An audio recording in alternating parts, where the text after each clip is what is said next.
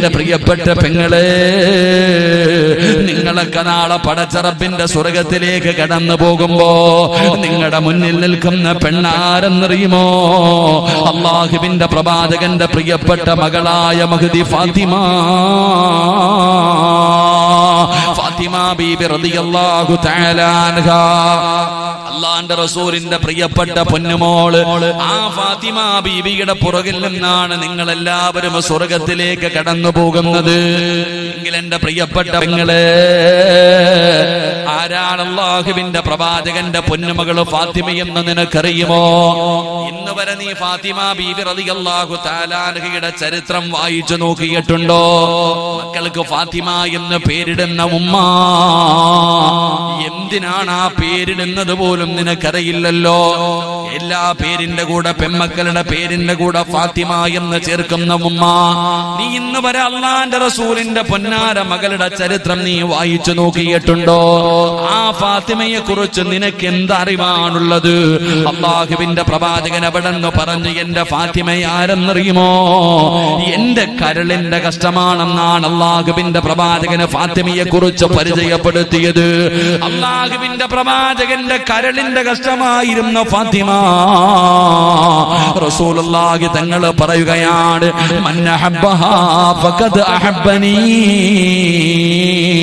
ആരെങ്കിലും എന്റെ ഫാത്തിമാനെ ഇഷ്ടപ്പെട്ടാൽ അള്ളാന്റെ റസൂൽ എവിടെന്ന് പറയുന്നു ആരെങ്കിലും എന്റെ ഫാത്തിമാനെ ഇഷ്ടപ്പെട്ടാൽ അവൻ എന്നെ ഇഷ്ടപ്പെട്ടവനെ പോലെയാണെന്ന് അള്ളാഹുവിന്റെ പ്രവാചകൻ എവിടെന്ന് പറയുമ്പോ ഈ സദസ്സിൽ ഒരുമിച്ച് കൂടിയ പെങ്ങൾ.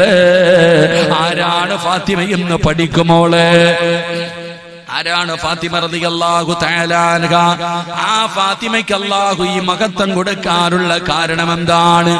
ആ ഫാത്തിമ ബീബി റളിയല്ലാഹു അള്ളാഹു അൻഹയുടെ പുറകിൽ നിന്നാണ് നിങ്ങൾ സ്വർഗത്തിൽ പോകേണ്ടത്. അതുകൊണ്ട് പടച്ചവനെ സദസ്സിലിരിക്കുന്ന എന്റെ പ്രിയപ്പെട്ടവരോട് നമുക്ക് ഫാത്തിമ ആരാണെന്ന് പഠിക്കാം. ആ ഫാത്തിമയ്ക്ക് അല്ലാഹു ഈ മഹത്വം കൊടുക്കാനുള്ള കാരണം എന്താണെന്ന് പഠിക്കാം. അള്ളാഹുവിന്റെ പ്രവാചകനല്ലേ പറഞ്ഞത് നിങ്ങൾ ഫാത്തിമാനെ ഇഷ്ടപ്പെടണമെന്ന്? ആരാണ് ഫാത്തിമ എന്നറിയുമോ? മഹാനായ നബി മുഹമ്മദ് മുസ്തഫ. സല്ലല്ലാഹു അലൈഹി വസല്ലമ തങ്ങൾ അള്ളാഹുവിന്റെ പ്രവാചകന്റെ മുപ്പത്തി അഞ്ചാമത്തെ വയസ്സിലാണ്. അള്ളാഹു അതാ ഖദീജ ബീബി റളിയല്ലാഹു തആല അൻഹയ്ക്ക് ഫാത്തിമ എന്ന് പറയുന്ന ഒരു പൊന്നുമോളെ കൊടുക്കുന്നത്.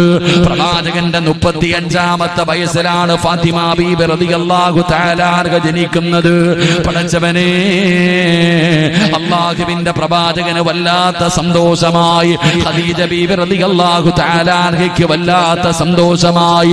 പടച്ചവനെ ഫാത്തിമായ കാണുന്നവര് മുഴുവനും പറയുന്ന വാക്കെന്തെന്നറിയുമോ? അള്ളാഹുവിന്റെ പ്രവാചകന്റെ പൊന്നാര മകളായ ഫാത്തിമ ബീബി റളിയല്ലാഹു തആല അൻഹ. ആ ഫാത്തിമയെ കാണുന്ന ആൾക്കാർ മുഴുവനും പറഞ്ഞത് എന്തെന്നറിയോ വാപ്പാന്റെ പൊന്നുമോളാ. ഫാത്തിമ എന്ന് പറയുന്ന കുഞ്ഞിനെ കാണുന്ന എല്ലാവരും പറയുന്ന ഒരു വാക്കെന്തെന്നറിയുമോ പാപ്പാട പൊന്നാര മകളാണ്. അള്ളാഹുവിന്റെ പ്രവാചകനെ പോലെ തന്നെയാണ് ഫാത്തിമ ഇരുന്നത്. ഫാത്തിമയുടെ സ്വഭാവാകുവേ അവിടെ നിന്ന് ആയിഷ ബീബി റളിയല്ലാഹു തആല അൻഹ അവിടെ നിന്ന് പറയുന്നുണ്ട് അള്ളാഹുവിന്റെ പ്രവാചകനെ പോലെ സാദൃശ്യമുള്ള ഫാത്തിമയെ പോ ഫാത്തിമയല്ലാതെ മറ്റൊരാളെയും ഞാൻ എന്റെ ജീവിതത്തിൽ കണ്ടിട്ടില്ല എന്ന് അള്ളാഹുവേ മഹദിയായ ആയിഷ ബീബി റളിയല്ലാഹു തആല അൻഹ പോലും പറയുമ്പോ അള്ളാഹുവിന്റെ പ്രവാചകന്റെ മുഖം എങ്ങനെയാണ്? പ്രവാചകന് ചിരിക്കുന്നത് എങ്ങനെയാണ്? പ്രവാചകൻ നടക്കുന്നത് എങ്ങനെയാണ്? പ്രവാചകൻ ഇരിക്കുന്നത് എങ്ങനെയാണ്? പഠിച്ചവനെ ഫാത്തിമ ബീബി റളിയല്ലാഹു തആല അൻഹ നടന്നു വരുന്നത് കണ്ട അള്ളാഹുവിന്റെ പ്രവാചകൻ നടന്നു വരുന്നത് പോലെയാണ്. കാണുന്നവർ മുഴുവനും ഇത് തന്നെയാണ് പറയുന്നത്. ഫാത്തിമ ബീബി റളിയല്ലാഹു തആല അൻഹയെ കാണുന്നവര് മുഴുവനും പറയുകയാണ് ഫാത്തിമയ്ക്ക് വാപ്പയുടെ രൂപമാണ്. ഫാത്തിമയ്ക്ക് വാപ്പയുടെ രൂപമാണ്. ഖദീജ ബീബി റളിയല്ലാഹു തആല അൻഹയോട് കാണുന്ന പെണ്ണുങ്ങൾ മുഴുവനും പറയുന്നത് ഖദീജ. അതാ ഫാത്തിമ വാപ്പയെ പോലെയാണ് ഇരിക്കുന്നത് അങ്ങനെ പടച്ചവനെ അള്ളാഹുവിന്റെ പ്രവാചകന് ഫാത്തിമയോട് വല്ലാത്ത ഇഷ്ടമായി. ഒരു പ്രത്യേക സ്നേഹമായി പടച്ചവനെ ഖദീജ ബീബി റളിയല്ലാഹു തആല അൻഹ ഖദീജ ബീവിക്കും തന്റെ പൊന്നാര മകളോട് വല്ലാത്ത സ്നേഹമായിരുന്നു. പടച്ചവനെ അതാ ഒരുപാട് അള്ളാഹു സമ്പത്ത് കൊടുത്തിട്ടുണ്ട്. ഖദീജ ബീബി ഒരുപാട് സമ്പത്തുള്ളവളായിരുന്നു. അങ്ങനെ അള്ളാഹുവിന്റെ പ്രവാചകനും ഖദീജ ബീബിയും ഫാത്തിമ ബീബിയും എല്ലാവരും വളരെ സന്തോഷത്തോടുകൂടി ഇങ്ങനെ നടക്കുകയാണ്. എവിടെ ചെന്നാലും ഫാത്തിമയ്ക്ക് വല്ലാത്ത ഒരു സ്ഥാനമാണ്. കാരണം അള്ളാഹുവിന്റെ പ്രവാചകന്റെ പൊന്നുമോളാണല്ലോ. അള്ളാഹുവിന്റെ പ്രവാചകനെ എല്ലാവരും മല്ലമീൻ എന്നാണ് വിളിച്ചിരുന്നത്. എല്ലാവരും അള്ളാഹുവിന്റെ റസൂലിനെ വല്ലാത്ത ആദരവ് കൊടുത്തിരുന്നു. വലിയ മഹത്വം കൊടുത്തിരുന്നു. അതുകൊണ്ട് വാപ്പാടെ കയ്യിൽ പിടിച്ച് ഫാത്തിമ എന്ന് പറയുന്ന പൊന്നുമോൾ ഇങ്ങനെ നടക്കുകയാണ്. ഉമ്മാനോടുള്ള സ്നേഹത്തിനെക്കാളും ഫാത്തിമയ്ക്ക് വാപ്പയോടാണ് സ്നേഹം. എപ്പോഴും വാപ്പാടെ കൂടെ ഇങ്ങനെ നടക്കുകയാണ്. പടച്ചവരെ എങ്ങനെ വർഷങ്ങൾ കടിഞ്ഞു പോയി? അമ്മാഹുബേ ഏകദേശം അഞ്ചു കൊല്ലം കടിഞ്ഞപ്പോ നാൽപ്പതാമത്തെ വയസ്സിൽ അള്ളാഹുബിന്റെ പ്രവാചകന്റെ മുന്നിലേക്ക് മുഖറബുൽ അംലാക്ക് മലക്ക് ജിബിരീൽ ജിബിരീൽ അലിസ്ലാമ കടന്നു വരികയാണ്. അതാ പരിശുദ്ധമായ ഖുർആാനുമായി കടന്നു വന്നു. അള്ളാഹുവിന്റെ പ്രവാചകന് നാൽപ്പതാമത്തെ വയസ്സിൽ നുപൂപത്ത് കെട്ടിക്കഴിഞ്ഞപ്പോ അതാ തന്റെ നാട്ടുകാരോട് കുറൈശികളോട് അള്ളാഹുവിന്റെ പ്രവാചകൻ ചെന്നിട്ട് പ്രബോധനം തുടങ്ങുമ്പോ അള്ളാഹുവേ ഇന്നലെ വരെ ആദരിച്ചവരുണ്ടല്ലോ. ഇന്നലെ വരെ സ്നേഹിച്ചവരുണ്ടല്ലോ. ഇന്നലെ വരെ അല്ലമീൻ എന്ന് വിളിച്ചവരുണ്ടല്ലോ. അള്ളാഹുവിന്റെ പ്രവാചകൻ ഏകദൈവ വിശ്വാസമെന്ന പ്രബോധനവുമായി തന്റെ സമൂഹത്തിന്റെ മുന്നിലേക്ക് കടന്നു ചെന്നപ്പോൾ പഠിച്ചവനെ എല്ലാവരും അവിടെ അള്ളാഹുവിന്റെ പ്രവാചകനെ അട്ടിയോടിക്കുകയാണ് പ്രവാചകൻ അവിടെ നിന്ന് കളിയാക്കുകയാണ്. അവിടെ നിന്ന് കുറ്റപ്പെടുത്തുകയാണ്. പഠിച്ചവനെ പിന്നെ അതാ പീഡനങ്ങളുടെ കാലം തുടങ്ങുകയാണ്. ഫാത്തിമ ബീബി വാപ്പയെ പോലെ തന്നെയാണ് ഫാത്തിമ ഇരിക്കുന്നത്. നമ്മുടെ മക്കളെ കാണുമ്പോ കാണുന്നവര് പറയും ഒന്നുകിൽ പറയും അവൻ ഉമ്മാനെ പോലെയാ. അവൻ ഉമ്മാടെ രൂപമാണ് അല്ലെങ്കിൽ വാപ്പയുടെ രൂപമാണ്. ഫാത്തിമ എന്ന് പറയുന്ന പൊന്നുമോളെ കാണുന്നവര് മുഴുവനും പറയും വാപ്പാനെ വരച്ചു വെച്ചിരിക്കുകയാ. അങ്ങനെ പറയുന്നത് കേട്ടപ്പോ റസൂലുള്ളാന് വല്ലാത്ത സന്തോഷമായി. ഫാത്തിമ ബീവിയെ കാണുമ്പോ എല്ലാവരും അങ്ങനെ പറയുന്നത് കാരണം ഉമ്മയായ ഖദീജ ബീവിക്കും ഒരു പ്രത്യേക സ്നേഹമായി. പടച്ചവനെ അങ്ങനെ അഞ്ചു വർഷക്കാല സന്തോഷത്തോടു കൂടി കഴിയുകയാ. വാപ്പാടെ കൂടെ ഫാത്തിമ എവിടെ പോയാലും മുത്തുനബി കൊണ്ടുപോകും. അത് കാരണം വാപ്പയോട് വല്ലാത്ത സ്നേഹം. അഞ്ചു കൊല്ലം കഴിഞ്ഞു. റസൂലുള്ളാഹി തങ്ങൾക്ക് നുപൂവത്ത് കിട്ടിക്കഴിഞ്ഞു പ്രവാചകന പ്രബോധനവുമായി ഇറങ്ങിയപ്പോ പിന്നെ പറയേണ്ടതില്ലല്ലോ. വല്ലാത്ത കുത്തുവാക്കുകളും പരിഹാസങ്ങളും പടച്ചവനെ വല്ലാത്ത വേദനയാണ്. റസൂലുള്ളാനെ കളിയാക്കുകയാണ്. പടച്ചവനെ അതാ ജനങ്ങൾ ഇസ്ലാമിലേക്ക് കടന്നു വരുമ്പോൾ അതാവല്ലാത്ത പീഡനങ്ങളായിരുന്നല്ലോ. അതാ ചരിത്രത്തിൽ കാണാ. ഒരിക്കൽ അള്ളാഹുവിന്റെ പ്രവാചകന് സല്ലല്ലാഹു അലൈഹി വസല്ലമ തങ്ങൾ അള്ളാന്റെ റസൂൽ പള്ളിയിലേക്ക് പോയതാണ്. ഫാത്തിമ ബീവി നോക്കുമ്പോ ഏകദേശം ഒരു ആറ് വയസ്സ് വരും. ഫാത്തിമ ബീവി റളിയല്ലാഹു അൻഹ നോക്കുമ്പോ തന്റെ പിതാവിനെ കാണുന്നില്ല. അങ്ങനെ ഫാത്തിമ ബീവി റളിയല്ലാഹു തആല അൻഹ തിരഞ്ഞു ചെല്ലുമ്പോ സുബ്ഹാനല്ലാഹ് അള്ളാഹുവിന്റെ പ്രവാചകനതാ സുജൂതിൽ കിടക്കുകയാണ്. അള്ളാന്റെ റസൂൽ സുജൂതിൽ കിടക്കുമ്പോ അതാ അപൂജകലും തന്റെ അനുയായികളുമുണ്ടല്ലോ. പുഴുത്തു നാറിക്കിടക്കുന്ന ഒട്ടകത്തിന്റെ കുടൽമാല വലിച്ചു കൊണ്ടുവന്നിട്ട് അള്ളാഹുവിന്റെ പ്രവാചകന് സുജൂതിലേക്ക് ചെല്ലുമ്പോ ആ പുഴുത്തു നാറിയ ഒട്ടകത്തിന്റെ കുടൽമാല കൊണ്ടുവന്ന് പ്രവാചകന്റെ തലയിലേക്ക് ഇടുകയാണ്. റസൂലുള്ള സുജൂതിൽ കിടക്കുകയാണ്. പ്രവാചകൻ എഴുന്നേക്കാൻ കഴിയുന്നില്ല. തല ഉയർത്താൻ കഴിയുന്നില്ല. അള്ളാഹുവിന്റെ പ്രവാചകന്റെ സ്വഹാബത്ത് മുഴുവനും ഹിജറ പോയിരിക്കുകയാണ്. അതാ അബൂബക്കർ തങ്ങളോ ഉസ്മാൻ തങ്ങളോ അലിയാര് തങ്ങളോ. ആരും മക്കത്തില്ലല്ലോ. അള്ളാഹുവിന്റെ പ്രവാചകന് സുജൂതിന് കിടക്കുന്ന സമയത്ത് പുഴുത്തു കിടക്കുന്ന ഒട്ടകത്തിന്റെ കുടൽമാല കൊണ്ടുവന്ന് തലകിരിട്ടിരിക്കുകയാണ് റസൂലുള്ളാന് ഒന്നും ചെയ്യാൻ കഴിയുന്നില്ല. തല ഉയർത്താൻ കഴിയാതെ പ്രവാചകന് സുജൂതിൽ കിടന്ന് കരയുമ്പോ ആറു വയസ്സുള്ള അള്ളാഹുവിന്റെ പ്രവാചകന്റെ പ്രിയപ്പെട്ട പൊന്നുമോൾ മകുതി ഫാത്തിമ. ഫാത്തിമ ബീബി റളിയല്ലാഹു തആല പടച്ചവനെ വാപ്പാനെ കാണാതെ വെളിയിലിറങ്ങുമ്പോ കാണുന്ന രംഗമാണ്. ആ പൊന്നുമകൾ വാപ്പയിലടുക്കലേക്ക് ഓടി വരികയാണ്. അള്ളാഹുവിന്റെ പ്രവാചകന്റെ ചാരത്തേക്ക് കിടന്നു വന്നിട്ട് സുജൂതിൽ കിടക്കുന്ന പിതാവിന്റെ തലയിൽ കിടക്കുന്ന ചീഞ്ഞളിഞ്ഞ ഒട്ടകത്തിന്റെ കുടൽമാലയുണ്ടല്ലോ. ആ ചെറിയ മകൾ വാപ്പാടെ തലയിൽ നിന്ന് വലിച്ച് താഴേക്കിടാൻ സഹായിക്കുകയാ. അവസാനം ആ കുടൽമാല താഴേക്ക് വീണപ്പോ റസൂലുള്ളാഹി തങ്ങൾ സുജൂതിൽ നിന്ന് എഴുന്നേക്കുകയാണ് പടച്ചവനെ അള്ളാഹുവിന്റെ പ്രവാചകൻ ഇങ്ങനെ എഴുന്നേക്കുമ്പോ ഫാത്തിമ എന്ന് പറയുന്ന പൊന്നാര മകളുണ്ടല്ലോ. അള്ളാഹുവിന്റെ പ്രവാചകൻ എന്ന പിതാവിന്റെ തലയിൽ കിടക്കുന്ന ദുർഗന്ധം അടിച്ചു വീശുന്ന ആ കുടൽമാലയുടെ അംശങ്ങളുണ്ടല്ലോ. അള്ളാന്റെ റസൂലിന്റെ തലയിൽ നിന്ന് ഇങ്ങനെ എടുത്തു മാറ്റുകയാ. തന്റെ പിതാവിന്റെ തലയിൽ നിന്ന് ആ പുഴുത്തു നാറിക്കിടക്കുന്ന വല്ലാത്ത ദുർഗന്ധമടിക്കുന്ന കുടൽമാല അതെല്ലാം ഇങ്ങനെ വൃത്തിയാക്കി കൊടുക്കുകയാണ്. ഏകദേശം ആറു വയസ്സേ ഉള്ളൂ. തന്റെ വാപ്പാടെ തലയിൽ നിന്നത് മുഴുവനും ഇങ്ങനെ എടുത്തു കളഞ്ഞിട്ട് ഫാത്തിമ എന്ന് പറയുന്ന പൊന്നുമോൾ ചോദിക്കുന്നു വാപ്പാ ഇവരെന്തിനാ എന്റെ ഉപ്പാനെ ഇങ്ങനെ ഉപദ്രവിക്കുന്നത്? ആ സമയത്ത് വല്ലാത്ത പ്രയാസമാണല്ലോ. ഫാത്തിമ എന്ന് പറയുന്ന പൊന്നാര മകളല്ലാന്റെ റസൂലിനോട് ചോദിക്കുമ്പോ പ്രവാചകം പറഞ്ഞു ഫാത്തിമ അവിടെന്ന് പറഞ്ഞതെന്തെന്നറിയുമോ? അവിടെന്ന് പറഞ്ഞതെന്തെന്നറിയുമോ? ലാ കറുബ ബീകി ഫിൽ ആഖിറ. അള്ളാഹുവിന്റെ പ്രവാചകൻ അവിടെ നിന്ന് പറഞ്ഞു കൊടുത്തു ഫാത്തിമ ഇതൊക്കെ ഈ ദുനിയാവിലല്ലേ ഉള്ളൂ. വാപ്പായിക്ക് നാളെ ആഖിറത്തിൽ ഒരു പ്രയാസവുമില്ല. അള്ളാഹുവിന്റെ പ്രവാചകൻ തന്റെ പൊന്നാര മകളെ സമാധാനിപ്പിക്കുകയാണ്. അങ്ങനെ ഫാത്തിമ ബീബി റളിയല്ലാഹു തആല അൻഹയും അള്ളാഹുവിന്റെ പ്രവാചകനും തന്റെ വീട്ടിലേക്ക് കടന്നുപോയി. അതാ ഫാത്തിമ ബീവി ഇങ്ങനെ ഓരോ ദിവസങ്ങൾ കഴിയുമ്പോഴും അതാ ശത്രുക്കളുടെ പീഡനം തുടങ്ങുകയാണ്. ഏറ്റവും വലിയ വേദന എന്തെന്നറിയുമോ? ഫാത്തിമ ബീബി റളിയല്ലാഹു തആല അൻഹയുടെ താത്തമാരായ രണ്ട് സഹോദരിമാര് റുഖിയ ബീബി റളിയല്ലാഹു തആല അൻഹ ഉമ്മു ഇവർ രണ്ടുപേരുടെയും കല്യാണം കഴിഞ്ഞതാണ്. പക്ഷേ അള്ളാഹുവിന്റെ പ്രവാചകന് പ്രബോധനം തുടങ്ങിയപ്പോ ഭർത്താക്കന്മാര് തലാക്ക് പറഞ്ഞിട്ട് വീട്ടിലേക്ക് കൊണ്ടുവന്ന് വിട്ടുകൊടുക്കുകയാണ്. ഫാത്തിമ കാണുന്ന കാഴ്ച എന്തെന്നറിയുമോ? രണ്ട് സഹോദരിമാരും വിധവകളായിട്ട് വീട്ടിൽ വന്ന് നിൽക്കുന്ന രംഗമാ.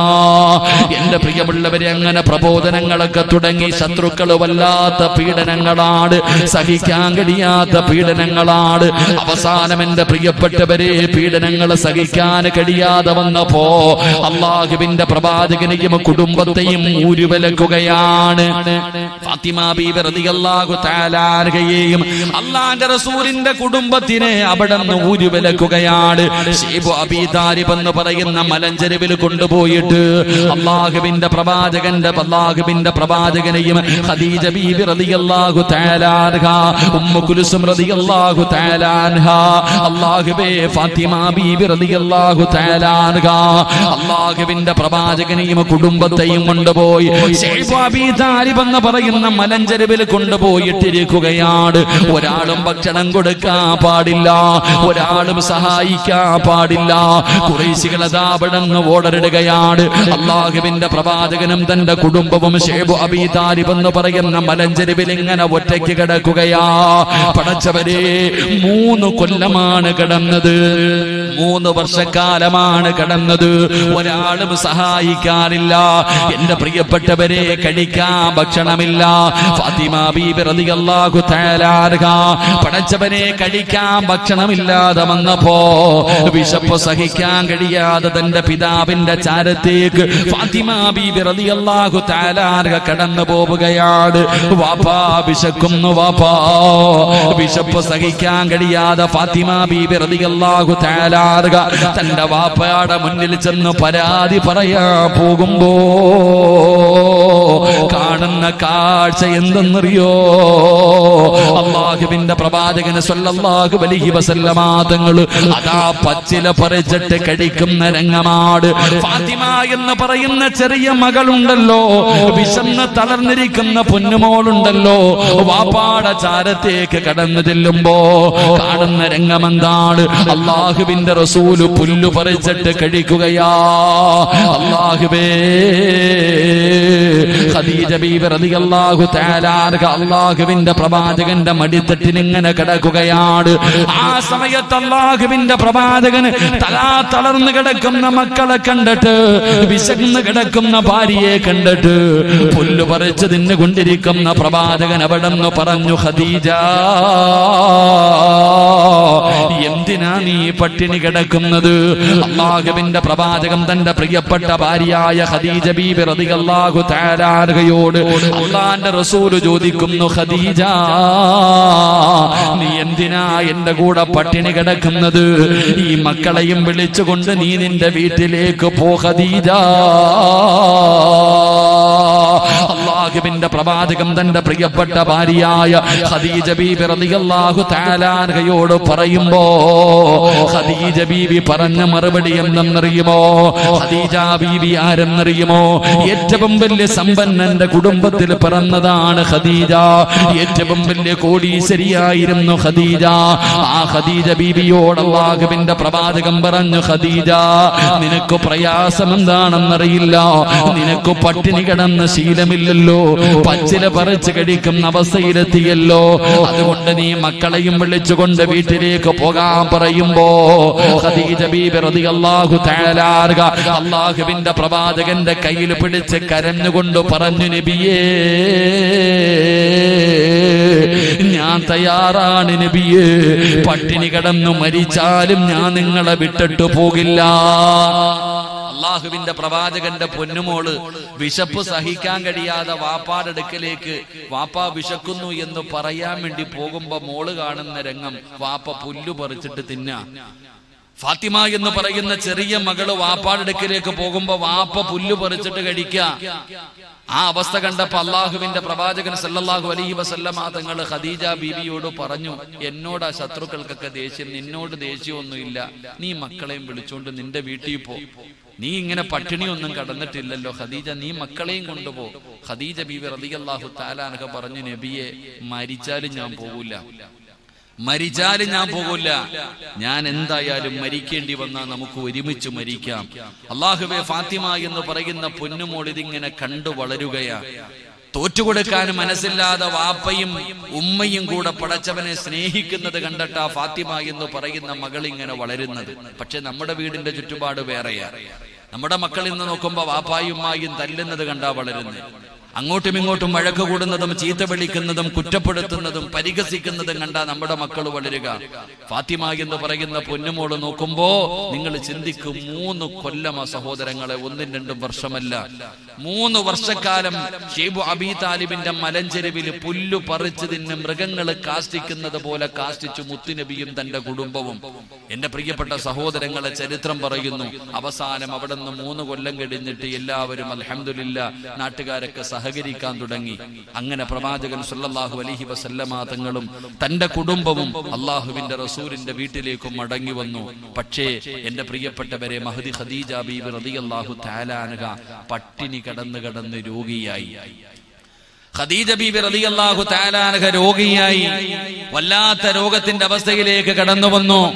അവസാനം എന്റെ പ്രിയപ്പെട്ടവരെ ഖദീജ ബീബി റളിയല്ലാഹു അവിടുന്ന് രോഗം പിടിച്ചിട്ട് അവസാനം സക്കറാത്തിന്റെ അവസ്ഥയിൽ കിടക്കുകയാണ്. ഖദീജ ബീബി റളിയല്ലാഹു തആല അൻഹ മരണത്തോട് മല്ലടിക്കുകയാണ്. വല്ലാത്ത പ്രയാസത്തിൽ അല്ലാഹുവേ അറുപത്തിയഞ്ചാമത്തെ വയസ്സിലാണ് ഖദീജ ബീബി റളിയല്ലാഹു തആല അൻഹ മരണപ്പെടുന്നത്. ഖദീജ ബീബി റളിയല്ലാഹു തആല അൻഹ അതാ മരണത്തിന്റെ കിടകിൽ കിടക്കുമ്പോ അള്ളാഹുവിന്റെ പ്രവാചകൻ സല്ലല്ലാഹു അലൈഹി വസല്ലമ തങ്ങൾ അടുത്ത് വിളിച്ചു. ഖദീജ ബീബി റളിയല്ലാഹു തആല അൻഹ അല്ലാഹുവിന്റെ പ്രവാചകന്റെ മടിത്തട്ടിൽ തലവെച്ച് കിടക്കുകയാണ്. എന്നിട്ട് ഒരുപാട് ഉപദേശങ്ങൾ കൊടുത്തു. രണ്ടുപേരും ഒരുപാട് നേരം സംസാരിച്ചു. ഫാത്തിമ എന്ന് പറയുന്ന പതിനഞ്ചു വയസ്സിന് താഴെ മാത്രം പ്രായമുള്ള പൊന്നുമോൾ ഇങ്ങനെ നോക്കിക്കൊണ്ടിരിക്കുകയാണ് വാപ്പാടെ മടിയിൽ കിടന്നിട്ട് ഉമ്മ യാത്ര പറയുകയാണ്. വാപ്പയുടെ മടിത്തട്ടിൽ കിടന്ന് യാത്ര പറയുകയാണ്. അവസാനം അല്ലാഹുവേ ഖദീജ ഫാത്തിമ എന്ന് പറയുന്ന പൊന്നുമോളെ അടുത്ത് വിളിക്കുകയാണ്. ഫാത്തിമ എന്ന് പറയുന്ന പൊന്നുമോളെ അടുത്ത് വിളിക്കുകയാണ്. എന്നിട്ട് അതാ ഖദീജ ബീബി റളിയല്ലാഹു തആല അൻഹ ഫാത്തിമാന്റെ കയ്യിൽ പിടിച്ച് കരയുകയാ. ഫാത്തിമ ബീബി റളിയല്ലാഹു തആല അൻഹയുടെ കയ്യിൽ പിടിച്ചിട്ട് അതാ ഖദീജ ബീബി റളിയല്ലാഹു തആല അൻഹ വിങ്ങി പൊട്ടിയിട്ട് കരയുകയാണ്. അള്ളാന്റെ റസൂൽ ചോദിക്കുന്നു ഖദീജ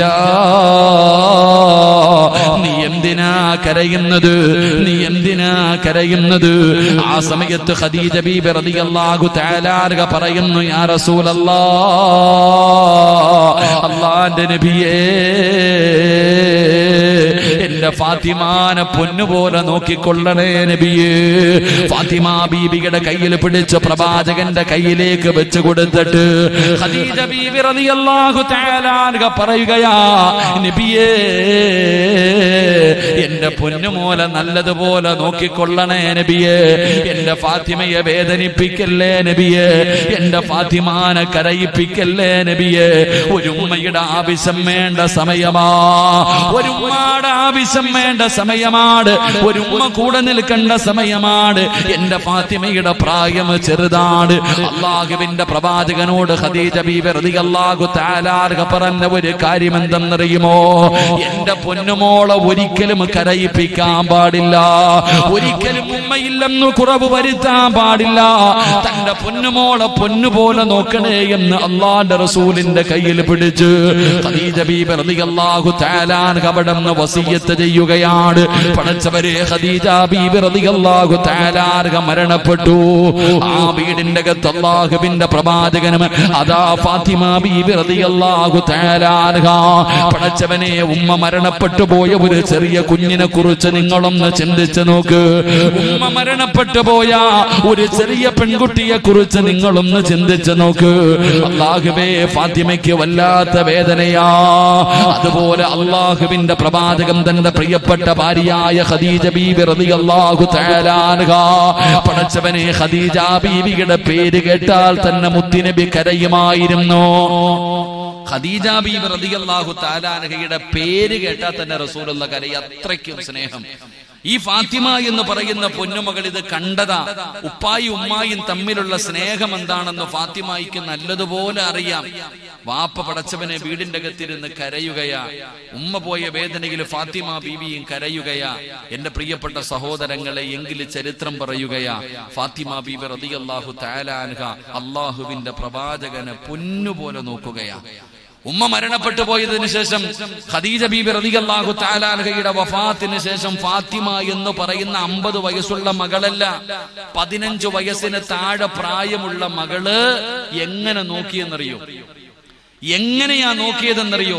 നബിസല്ലാഹു അലഹി വസല്ലമ തങ്ങൾ ഫാത്തിമ ബീബി റളിയല്ലാഹു താലാനഹയെ വിളിച്ചത് അവിടെ നിന്ന് മുത്തിനബി പറഞ്ഞു ഉമ്മു അബീഹ വാപ്പാട ഉമ്മ എന്നാ വിളിച്ചേ.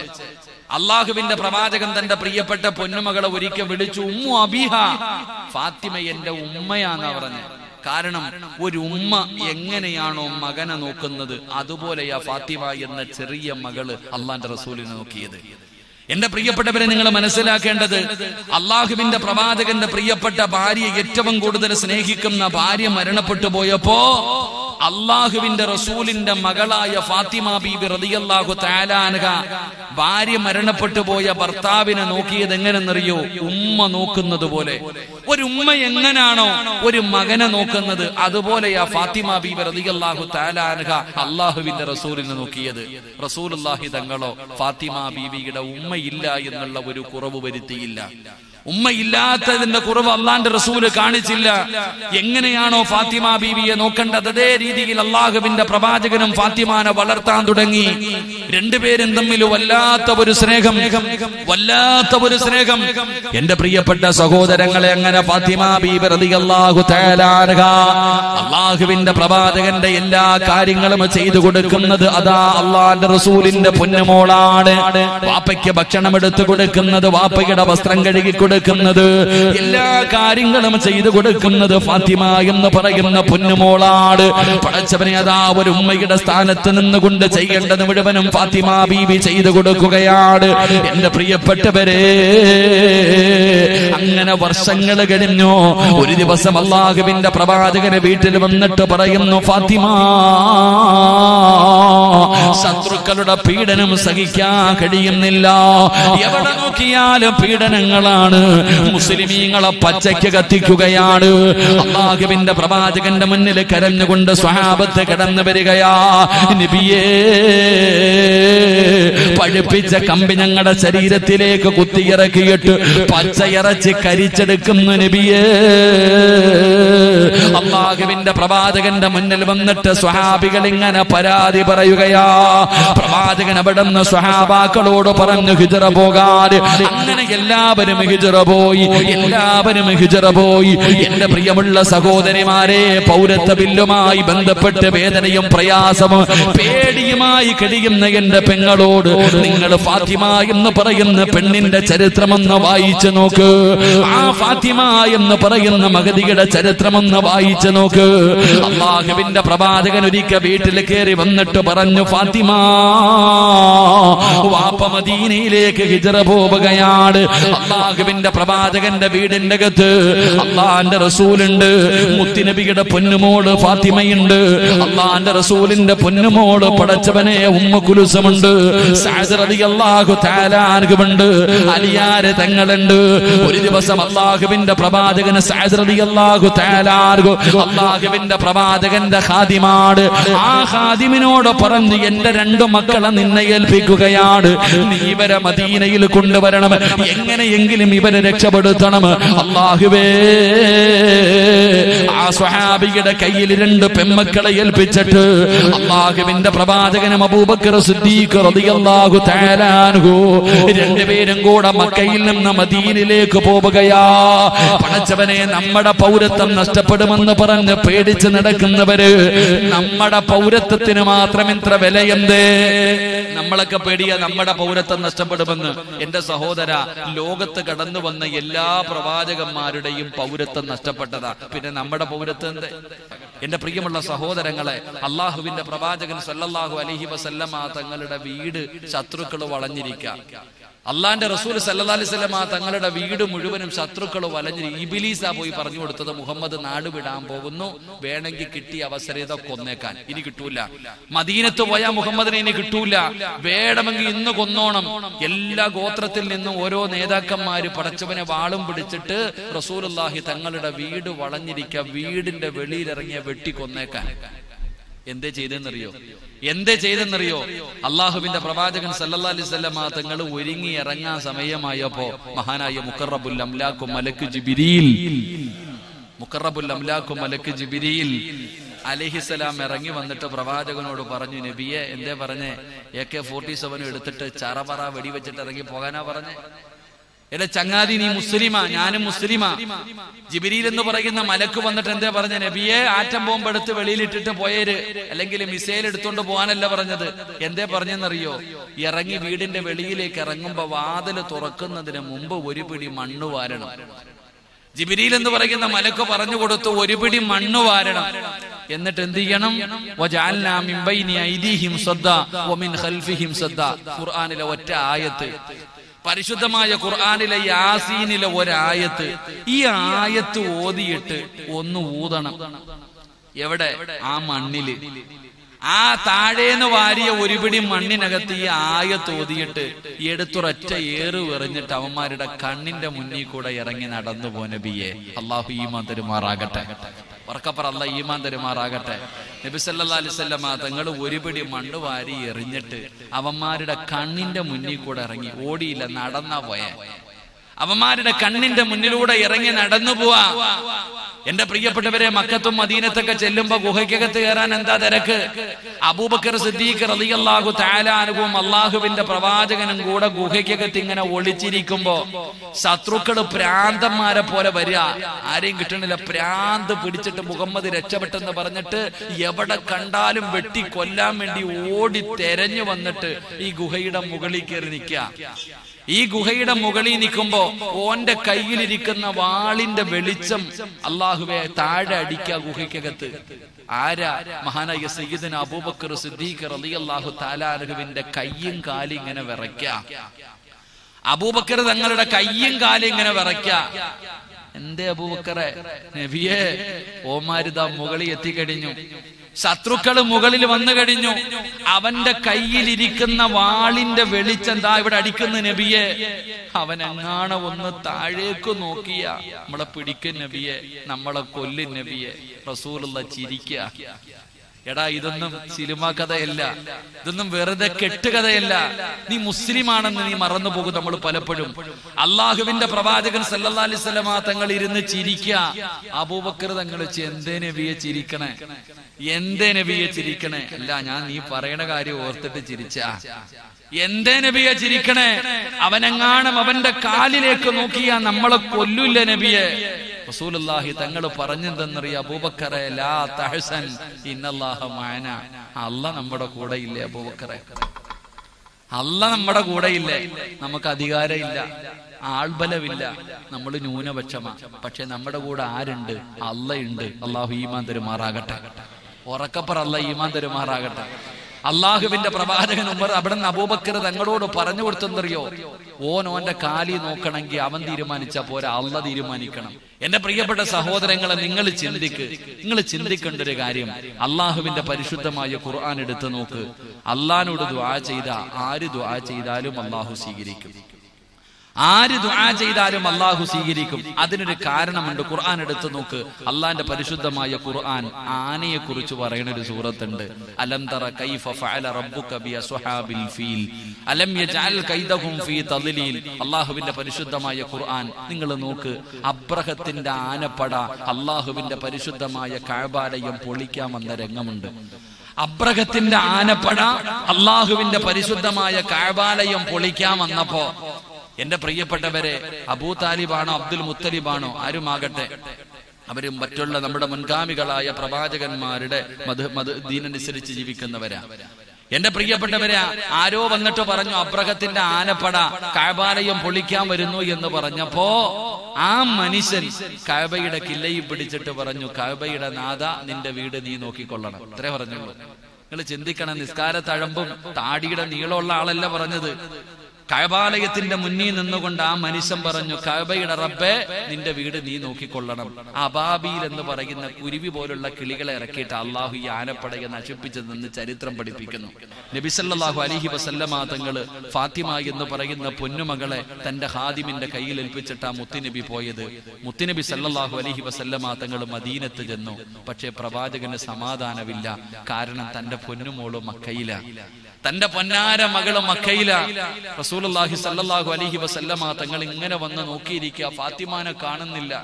എന്റെ പ്രിയപ്പെട്ടവരെ സായദ് റതി അള്ളാഹു താലാനഹു അള്ളാഹുവിന്റെ പ്രവാചകന്റെ രണ്ടു പെമ്മക്കളെയും കൊണ്ട് മക്കയിൽ നിന്നും മദീനയിലേക്ക് വരുമ്പോ ശത്രുക്കൾ കലി പിടിച്ചിട്ട് നടക്ക. വാപ്പാനെ കിട്ടിയില്ലെങ്കിൽ മോളെയെങ്കിലും കൊല്ലണം. എന്തായാലും മുഹമ്മദിനെ കിട്ടിയില്ല. ആ മുഹമ്മദിന്റെ മകളെയെങ്കിലും കൊന്നിട്ട് സമാധാനിക്കണം. ശത്രുക്കൾ മുഴുവനും പാഞ്ഞു നടക്കുമ്പോ എന്റെ പ്രിയപ്പെട്ട പെങ്ങന്മാര് കേട്ടോ ചരിത്രമാ പറയണേ. ഫാത്തിമ ബീബിയുടെ ചരിത്രം നിങ്ങൾ വായിച്ചു നോക്ക്. എന്റെ പ്രിയപ്പെട്ട പെങ്ങളെ ഫാത്തിമ ബീബി റളിയല്ലാഹു താലാനഹ സഞ്ചരിച്ചിരുന്ന ഒട്ടകത്തിന് അവർ വെട്ടിക്കൊന്നു. ഫാത്തിമ ബീബി റളിയല്ലാഹു താലാനക സഞ്ചരിച്ചിരുന്ന ഒട്ടകത്തിനെ ശത്രുക്കൾ കൊന്നു. സഅദ് റളിയല്ലാഹു താലാനഹു ഫാത്തിമ എന്ന ചെറിയ പെൺകുട്ടിയോട് പറഞ്ഞു മോളെ ഫാത്തിമ ഈ കാണുന്ന വഴി മദീനത്തേക്കുള്ള വഴിയാ ഓടിക്കോ. ഫാത്തിമ ബീബി റളിയല്ലാഹു തആലാൻഹയോട് ആ സഹാബി പറഞ്ഞു കൊടുത്തു. ഇതിലെ നേരെ പോയാ മദീനത്ത് പോകാം. ഇതിലെ നേരെ പോയാൽ നിന്റെ ഉപ്പാന്റെ അടുക്കലേക്ക് പോകാം. അതുകൊണ്ട് അള്ളാഹുവിന്റെ പ്രവാചകന്റെ പെമ്മക്കളോട് പറഞ്ഞു ജീവനും കൊണ്ടോടിക്കോ. എന്റെ പ്രിയപ്പെട്ട പെങ്ങൾ അള്ളാഹുവിന്റെ പ്രവാചകന്റെ പ്രിയപ്പെട്ട പൊന്നുമോൾ മകതി ഫാത്തിമ ബീവി റതി അള്ളാഹു അൻഹ. നിങ്ങളെ കിതാബെടുത്ത് നോക്ക്. അര കിലോമീറ്റർ നടക്കാൻ നിനക്ക് കഴിയില്ലല്ലോ എങ്കിലും ഫാത്തിമ എന്ന് പറയുന്ന അള്ളാഹുബിന്റെ പ്രവാചകന്റെ പൊന്നുമോൾ ഇരുന്നൂറ് കിലോമീറ്ററുകളിൽ പുറത്ത് ഏകദേശം ഇരുന്നൂറ്റി അൻപതോളം കിലോമീറ്ററുകൾ അള്ളാഹുവിന്റെ പ്രവാചകന്റെ പൊന്നുമോൾ ഓടുകയാ. ഇത് വെറുതെ പറഞ്ഞതല്ല. നിങ്ങൾ ഹദീസ് എടുത്തു നോക്ക്. അള്ളാഹുവിന്റെ പ്രവാചകന്റെ പൊന്നാര മകളുണ്ടല്ലോ. അള്ളാഹുവേ. ശത്രുക്കൾ അവിടെ നിന്ന് കൊല്ലാമെന്നപ്പോ അവിടെ നിന്ന് ഓടുകയാണ് ഏകദേശം ഇരുന്നൂറ് കിലോമീറ്ററിനപ്പുറമുണ്ടല്ലോ അതാ ഫാത്തിമ താലാർഗ ഓടുകയാണ്. അള്ളാന്റെ റസൂലിന് സമാധാനമില്ല.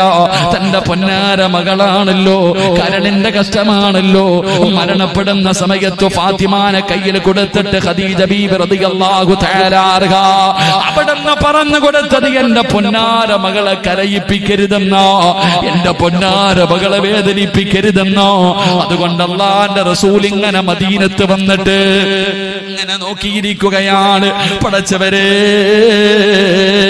അള്ളാന്റെ റസൂൽ നോക്കുമ്പോ തന്റെ പൊന്നാര മകൾ ഇങ്ങനെ വരികയാണ്. പടച്ചവരെ ശരീരം മുഴുവനും അതാ വസ്ത്രങ്ങളൊക്കെ കീറിയിട്ടുണ്ട്. വല്ലാത്തൊരവസ്ഥയിൽ തന്റെ പൊന്നാര മകൾ ഇങ്ങനെ ഓടി വരുന്നത് കണ്ടപ്പോ അള്ളാഹുവിന്റെ പ്രവാചകൻ ഓടുകയാണ്. തന്റെ ഫാത്തിമാനെ കെട്ടിപ്പിടിച്ചിട്ട് ചുംബനം കൊടുക്കുകയാണ്. അള്ളാന്റെ റസൂലപടന്ന് ഫാത്തിമാനെ സമാധാനിപ്പിക്കുകയാ. പഠിച്ചവനെ അങ്ങനെ പ്രവാചകം തന്റെ പൊന്നാര മകളുടെ കയ്യിൽ പിടിച്ചുകൊണ്ട് വീട്ടിലേക്ക് കടന്നു ചെന്നു? എന്റെ പ്രിയപ്പെട്ട സഹോദരിമാരെ ഫാത്തിമയ്ക്ക് സമാധാനമായി ഉമ്മുക്കുലുസുവിന് സമാധാനമായി. അള്ളാഹുവിന്റെ പ്രവാചകന്റെ വീടിന്റെ അകത്ത് ഇങ്ങനെ കഴിയുകയാണ്. ഉസുമാന് തങ്ങളും റുക്കിയായുമുണ്ട് അങ്ങനെ എല്ലാവരും കൂടെ മദീനത്ത് കിടക്കുമ്പോഴാണ് ബദർ യുദ്ധം കടന്നു വരുന്നത്. അള്ളാഹുവിന്റെ പ്രവാചകന്റെ പൊന്നുമോളുണ്ടല്ലോ. അള്ളാഹുവിന്റെ പ്രവാചകന് ബദറിലേക്ക് പോകുമ്പോ രോഗിയാണ്. അവിടുന്ന് വല്ലാത്ത പ്രയാസത്തിലാണ്. അള്ളാഹുവിന്റെ പ്രവാചകൻ ഉസ്മാൻ റളിയല്ലാഹു തആല അൻഹുവിനോട് പറഞ്ഞു നിങ്ങൾ ബദർ യുദ്ധത്തിന് വരണ്ട. ഭാര്യയ്ക്ക് ഖിദ്മത്ത് ചെയ്യൂ. അവിടുന്ന് പടച്ചവനെ പ്രവാചകൻ അവിടുന്ന് അനുവാദം കൊടുക്കുകയാണ്. അങ്ങനെ അള്ളാന്റെ റസൂലതാ യുദ്ധത്തിന് പോയി. പ്രവാചകന് ബദറിന്റെ രണാഗണത്തിലേക്ക് യുദ്ധത്തിന് പോയി. അള്ളാഹുവിന്റെ പ്രവാചകന്റെ പൊന്നുമോൾക്ക് പെട്ടെന്ന് പെടുന്ന രോഗം കൂടുകയാണ്. പടച്ചവനെ. അതാ റുഖിയ ബീബി റളിയല്ലാഹു തആല അൻഹ. മരണപ്പെടുകയാണ് അവിടുന്ന് മരണപ്പെടുകയാണ്. ഫാത്തിമ ബീവിയുടെ താത്തയാണല്ലോ ഫാത്തിമ ബീവിയുടെ ജ്യേഷ്ഠത്തിയാണല്ലോ. അവിടുന്ന് പടച്ചവനെ ജ്യേഷ്ഠത്തി മരണപ്പെട്ടു. വാപ്പയാണെങ്കിൽ നാട്ടിലില്ല.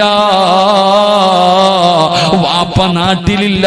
സ്വന്തം സഹോദരി മരണപ്പെട്ടിരിക്കുകയാണ്. എന്റെ പ്രിയപ്പെട്ട പെങ്ങളെ നീയാണെങ്കിൽ എന്ത് ചെയ്യും പൊന്നമോൾ നിന്റെ അവസ്ഥയെ കുറിച്ച് നാട്ടുകാരെ മുഴുവനും നിലവിളിച്ച് വിളിച്ചു കൂവി എന്തൊക്കെ കാണിക്കും പെങ്ങൾ? പക്ഷേ ഫാത്തിമ ബീബി അൻഹ തന്റെ പൊന്നാര ജ്യേഷ്ഠത്തി മരണപ്പെട്ടു പടച്ചവനെ ഫാത്തിമ വിളിച്ചു കൂവിയില്ല. അവിടുന്ന് സമാധാനത്തോടു കൂടിയിരിക്കുകയാണ് അവസാനം അള്ളാഹുവിന്റെ പ്രവാചകന് പതർ യുദ്ധം കടിഞ്ഞു വരുമ്പോ ഫാത്തിമ ബീബി റളിയല്ലാഹു തആല അൻഹ ഓടുകയാണ് വാപ്പാനെ കാണുമ്പോ വാപ്പാനെ കാണുമ്പോ ഫാത്തിമ ബീബി ഓടുകയാട് തആല അൻഹ ഓടുകയാണ് ഓടിച്ചെന്ന് തന്റെ പിതാവിന്റെ കയ്യിൽ പിടിച്ചു. അള്ളാന്റെ റസൂലിന്റെ കയ്യിൽ പിടിച്ചു. വാപ്പാടെ കയ്യിൽ പിടിച്ചിട്ട് മഹതിയായ ഫാത്തിമ ബീബി റളിയല്ലാഹു ജന്നത്തുൽ ബക്കിയിലേക്ക് കടന്നു പോവുകയാ. അള്ളാഹുവിന്റെ പ്രവാചകന്റെ കയ്യിൽ പിടിച്ചിട്ട് ഫാത്തിമ എന്ന് പറയുന്ന ആ ചെറിയ മകളുണ്ടല്ലോ. വാപ്പാനെ കൊണ്ടുപോയത് എവിടെയെന്നറിയുമോ തന്റെ ഇത്താട കബറിന്റെ ചാരത്താ. അള്ളാഹുവിന്റെ പ്രവാചകന്റെ പ്രിയപ്പെട്ട പൊന്നുമോൾ അതാ മറ്റൊരു മകളുടെ കബറിന്റെ ചാരത്തേക്ക് കൊണ്ടുപോവുകയാണ്. പടച്ചവനെ. അങ്ങനെ അതാ ഉസ്മാൻ റളിയല്ലാഹു തആല അൻഹുവിന്റെ ഭാര്യ അങ്ങ് മരണപ്പെടുകയാണ്. അത് കഴിഞ്ഞ് അള്ളാഹുവിന്റെ പ്രവാചകൻ ഉമ്മു കുലുസും എന്ന് പറയുന്ന പൊന്നുമോൾ അതാ ഉസ്മാന് തങ്ങൾക്ക് വിഭാഗം കഴിച്ചു കൊടുത്തു. എന്റെ പ്രിയപ്പെട്ടവരെ ഫാത്തിമ പിന്നെയും ഒറ്റപ്പെടുകയാണ്. അള്ളാഹുവിന്റെ പ്രവാചകനും ഫാത്തിമായും മാത്രമേ വീടിന്റെ അകത്തുള്ളൂ. എന്റെ പ്രിയപ്പെട്ടവരെ അവസാനമല്ലോ. ഫാത്തിമ ബീബി റളിയല്ലാഹു തആലാക്ക് പ്രായപൂർത്തിയാവുകയാ. അവിടുന്ന് പതിനെട്ട് വയസ്സായി. ഫാത്തിമ ബീബി റളിയല്ലാഹു തആലാക്ക് പതിനെട്ട് വയസ്സായി. പടച്ചവരെ വിവാഹപ്രായമെത്തി. അള്ളാഹുവിന്റെ റസൂലിനിക്ക ഫാത്തിമ ബീവിയോട് ചോദിച്ചു ഫാത്തിമ പൊന്നുമോളെ നീ ഒറ്റയ്ക്കാണല്ലോ. നിനക്കൊരു വിവാഹ ജീവിതം വേണമല്ലോ. അള്ളാഹുവിന്റെ പ്രവാചകന് ഫാത്തിമ എന്ന് പറയുന്ന പൊന്നുമകളോട് പറയുകയാ തന്റെ പൊന്നാര മകൾക്ക് പ്രായപൂർത്തിയായി പതിനെട്ട് വയസ്സായി. അള്ളാഹുവിന്റെ റസൂൽ സല്ലാഹു അലഹി വസല്ലമ തങ്ങൾ ഫാത്തിമ എന്ന് പറയുന്ന പൊന്നുമോളെ വിളിച്ചിട്ട് പറഞ്ഞു ഫാത്തിമ നിനക്ക് വിവാഹപ്രായമെത്തി. നിന്റെ വിവാഹപ്രായമെത്തി. നിന്നെ കല്യാണം കഴിച്ചു കൊടുക്കാൻ ഞാൻ തീരുമാനിച്ചിരിക്കുന്നു. അള്ളാഹുവിന്റെ പ്രവാചകൻ സല്ലാഹു അലഹി വസല്ലമ തങ്ങൾ അവിടെ നിന്ന് പറയുകയുണ്ടായി. എന്റെ പ്രിയപ്പെട്ട സഹോദരിമാരെ അള്ളാഹുവിന്റെ റസൂൽ സല്ലാഹു അലഹി വസല്ലമ തങ്ങളുടെ വീട്ടിലേക്ക് വലിയ വലിയ സമ്പന്നന്മാരായ സഹാബത്ത് കടന്നു വന്നു പല പല വലിയ വലിയ സഹാബികൾ സമ്പന്നന്മാര് കടന്നു വന്നു. എന്തിന്? അള്ളാഹുവിന്റെ പ്രവാചകന്റെ സഹാബികളായ ഉമർ തങ്ങളും അബൂബക്കർ തങ്ങൾ ഉൾപ്പെടെ വലിയ വലിയ സഹാബത്ത് വന്നിട്ട് അള്ളാഹുവിന്റെ പ്രവാചകന്റെ മകളെ വിവാഹം കഴിച്ചു തരുമോ എന്ന് ചോദിച്ചു. ആർക്കും അള്ളാഹിന്റെ റസൂൽ കെട്ടിച്ചു കൊടുത്തില്ല. പിന്നെ ആർക്കാ കെട്ടിച്ചു കൊടുത്തത്? അള്ളാഹുവിന്റെ പ്രവാചകൻ തന്റെ പൊന്നാര മകളെ വിവാഹം കഴിച്ചു കൊടുത്തത് മഹാനായ സയ്യിദുന അലിയുബിൻ അബി താലിബ് റളിയല്ലാഹു തആല അൻഹു. അലിയാര് തങ്ങൾക്കാണ് അള്ളാഹുവിന്റെ പ്രവാചകന് വിവാഹം കഴിച്ചു കൊടുത്തത് ചരിത്രം പറയുന്നു. ജിബിരിയിൽ എന്ന് പറയുന്ന മലക്ക് വന്നിട്ട് പറഞ്ഞു കൊടുത്തു നബിയെ ഫാത്തിമായ ജി അവിടെ നിന്ന് തങ്ങൾക്ക് കെട്ടിച്ചു കൊടുക്കാൻ. ചരിത്രം പറയുകയാ അള്ളാഹുവെ പടച്ചവനെ ഫാത്തിമ ബീവിയുടെ വിവാഹ ആലോചനകളൊക്കെ ഇങ്ങനെ നടക്കുമ്പോ അലിയാര് തങ്ങൾക്ക് ഫാത്തിമ ബീവിയെ വലിയ ഇഷ്ടമായിരുന്നു. കാരണം പത്താമത്തെ വയസ്സിൽ മുത്തിനബിയുടെ കൂടെ കൂടിയ സഹാബിയ അലിയാര് തങ്ങൾ. ഫാത്തിമ ബീവിയെ വല്ലാത്ത സ്നേഹമായിരുന്നു. അപ്പൊ ആരോ പറഞ്ഞു അലിയെ ഫാത്തിമ ബീവിയുടെ കല്യാണ ആലോചനയൊക്കെ നടക്കുന്നുണ്ട്. ഇത് കേട്ടപ്പോ അലിയാര് തങ്ങൾക്കൊരു ആഗ്രഹം ഫാത്തിമ ബീവിയെ വിവാഹം കഴിക്കണം. അള്ളാഹുവിന്റെ പ്രവാചകൻ സല്ലല്ലാഹു അലൈഹി വസല്ലമ തങ്ങളോട് ഇത് ചോദിക്കണം. അലിയാര് തങ്ങൾ നേരെ റസൂലുള്ളാഹി സല്ലല്ലാഹു അലഹി വസല്ലമ തങ്ങളുടെ വീട്ടിലേക്ക് കടന്നു വന്നു പെണ്ണ് ചോദിക്കാൻ. പെണ്ണ് ചോദിക്കുന്നതിന് വേണ്ടി അള്ളാഹുവിന്റെ പ്രവാചകന്റെ വീട്ടിലേക്ക് കടന്നു വന്നു.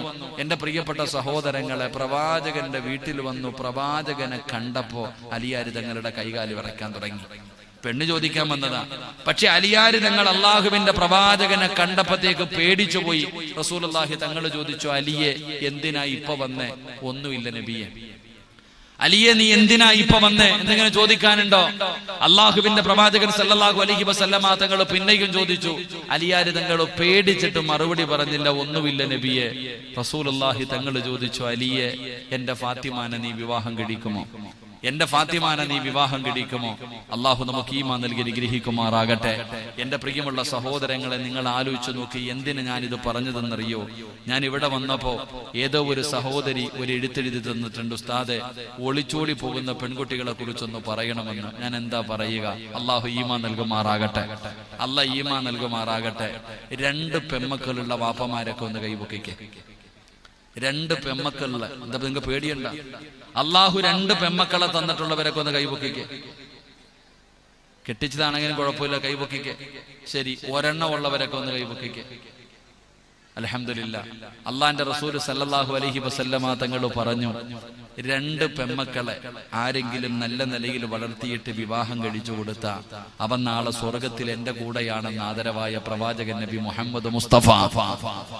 രണ്ട് പെമ്മക്കളെ അള്ളാഹു നിങ്ങൾക്ക് ആർക്കെങ്കിലും നൽകി ആ രണ്ട് പെമ്മക്കളെ നല്ലതുപോലെ വളർത്തിയിട്ട് കെട്ടിച്ചു കൊടുത്താൽ മതി. നാളെ സ്വർഗത്തിൽ മുത്തിനബിയുടെ കൂടെ പോകാം. അള്ളാഹു നിങ്ങൾക്ക് ഈ ഭാഗ്യം തരുമാറാകട്ടെ. റസൂലുള്ളാഹി സല്ലാഹു അലഹി വസല്ലമ തങ്ങളുടെ മകൾക്ക് പതിനെട്ട് വയസ്സ് അലിയാര് തങ്ങൾക്ക് ഇരുപത്തൊന്ന് വയസ്സ്. കെട്ടിക്കാൻ പ്രായമായപ്പോ അള്ളാഹുവിന്റെ പ്രവാചകന് ഫാത്തിമയോട് ചോദിച്ചു മോളെ നിന്നെ കല്യാണം കഴിച്ചു കൊടുക്കട്ടെ. എന്നാൽ നമ്മൾ ചോദിക്കാറുണ്ടോ? എന്റെ പ്രിയപ്പെട്ടവരെ ഇന്നത്തെ കാലഘട്ടത്തിൽ വാപ്പായ്ക്ക് അതിനുള്ള ഭാഗ്യം കിട്ടാറില്ല. പണ്ട് നിങ്ങളൊക്കെ പെണ്ണ് കെട്ടിയ കാലം ആലോചിച്ചു നോക്കിയേ. ഈ ഇരിക്കണ പ്രായമുള്ള വാപ്പാമാരൊക്കെ ഒരു ദിവസം പെണ്ണ് കാണാൻ പോയി. ഈ ഇരിക്കണ താത്താമാരൊക്കെ പ്രായമുള്ള ഈ ഉമ്മമാരൊക്കെ സ്കൂൾ വിട്ട് വീട്ടിൽ കയറി വന്നപ്പോ വാപ്പ പറഞ്ഞു മോളെ നിന്റെ കല്യാണം ഉറപ്പിച്ചിട്ടുണ്ട്. ആ ഇരിക്കുന്നതാണ് പുതിയ ആപ്പട ഒറ്റ കരച്ചൽ കഴിഞ്ഞു. ഇപ്പൊ സന്തോഷത്തോടെ ജീവിക്കുന്നു. അള്ളാഹു വർഗത്ത് ചെയ്യുമാറാകട്ടെ. എന്നാൽ ഇന്നത്തെ കാലവും.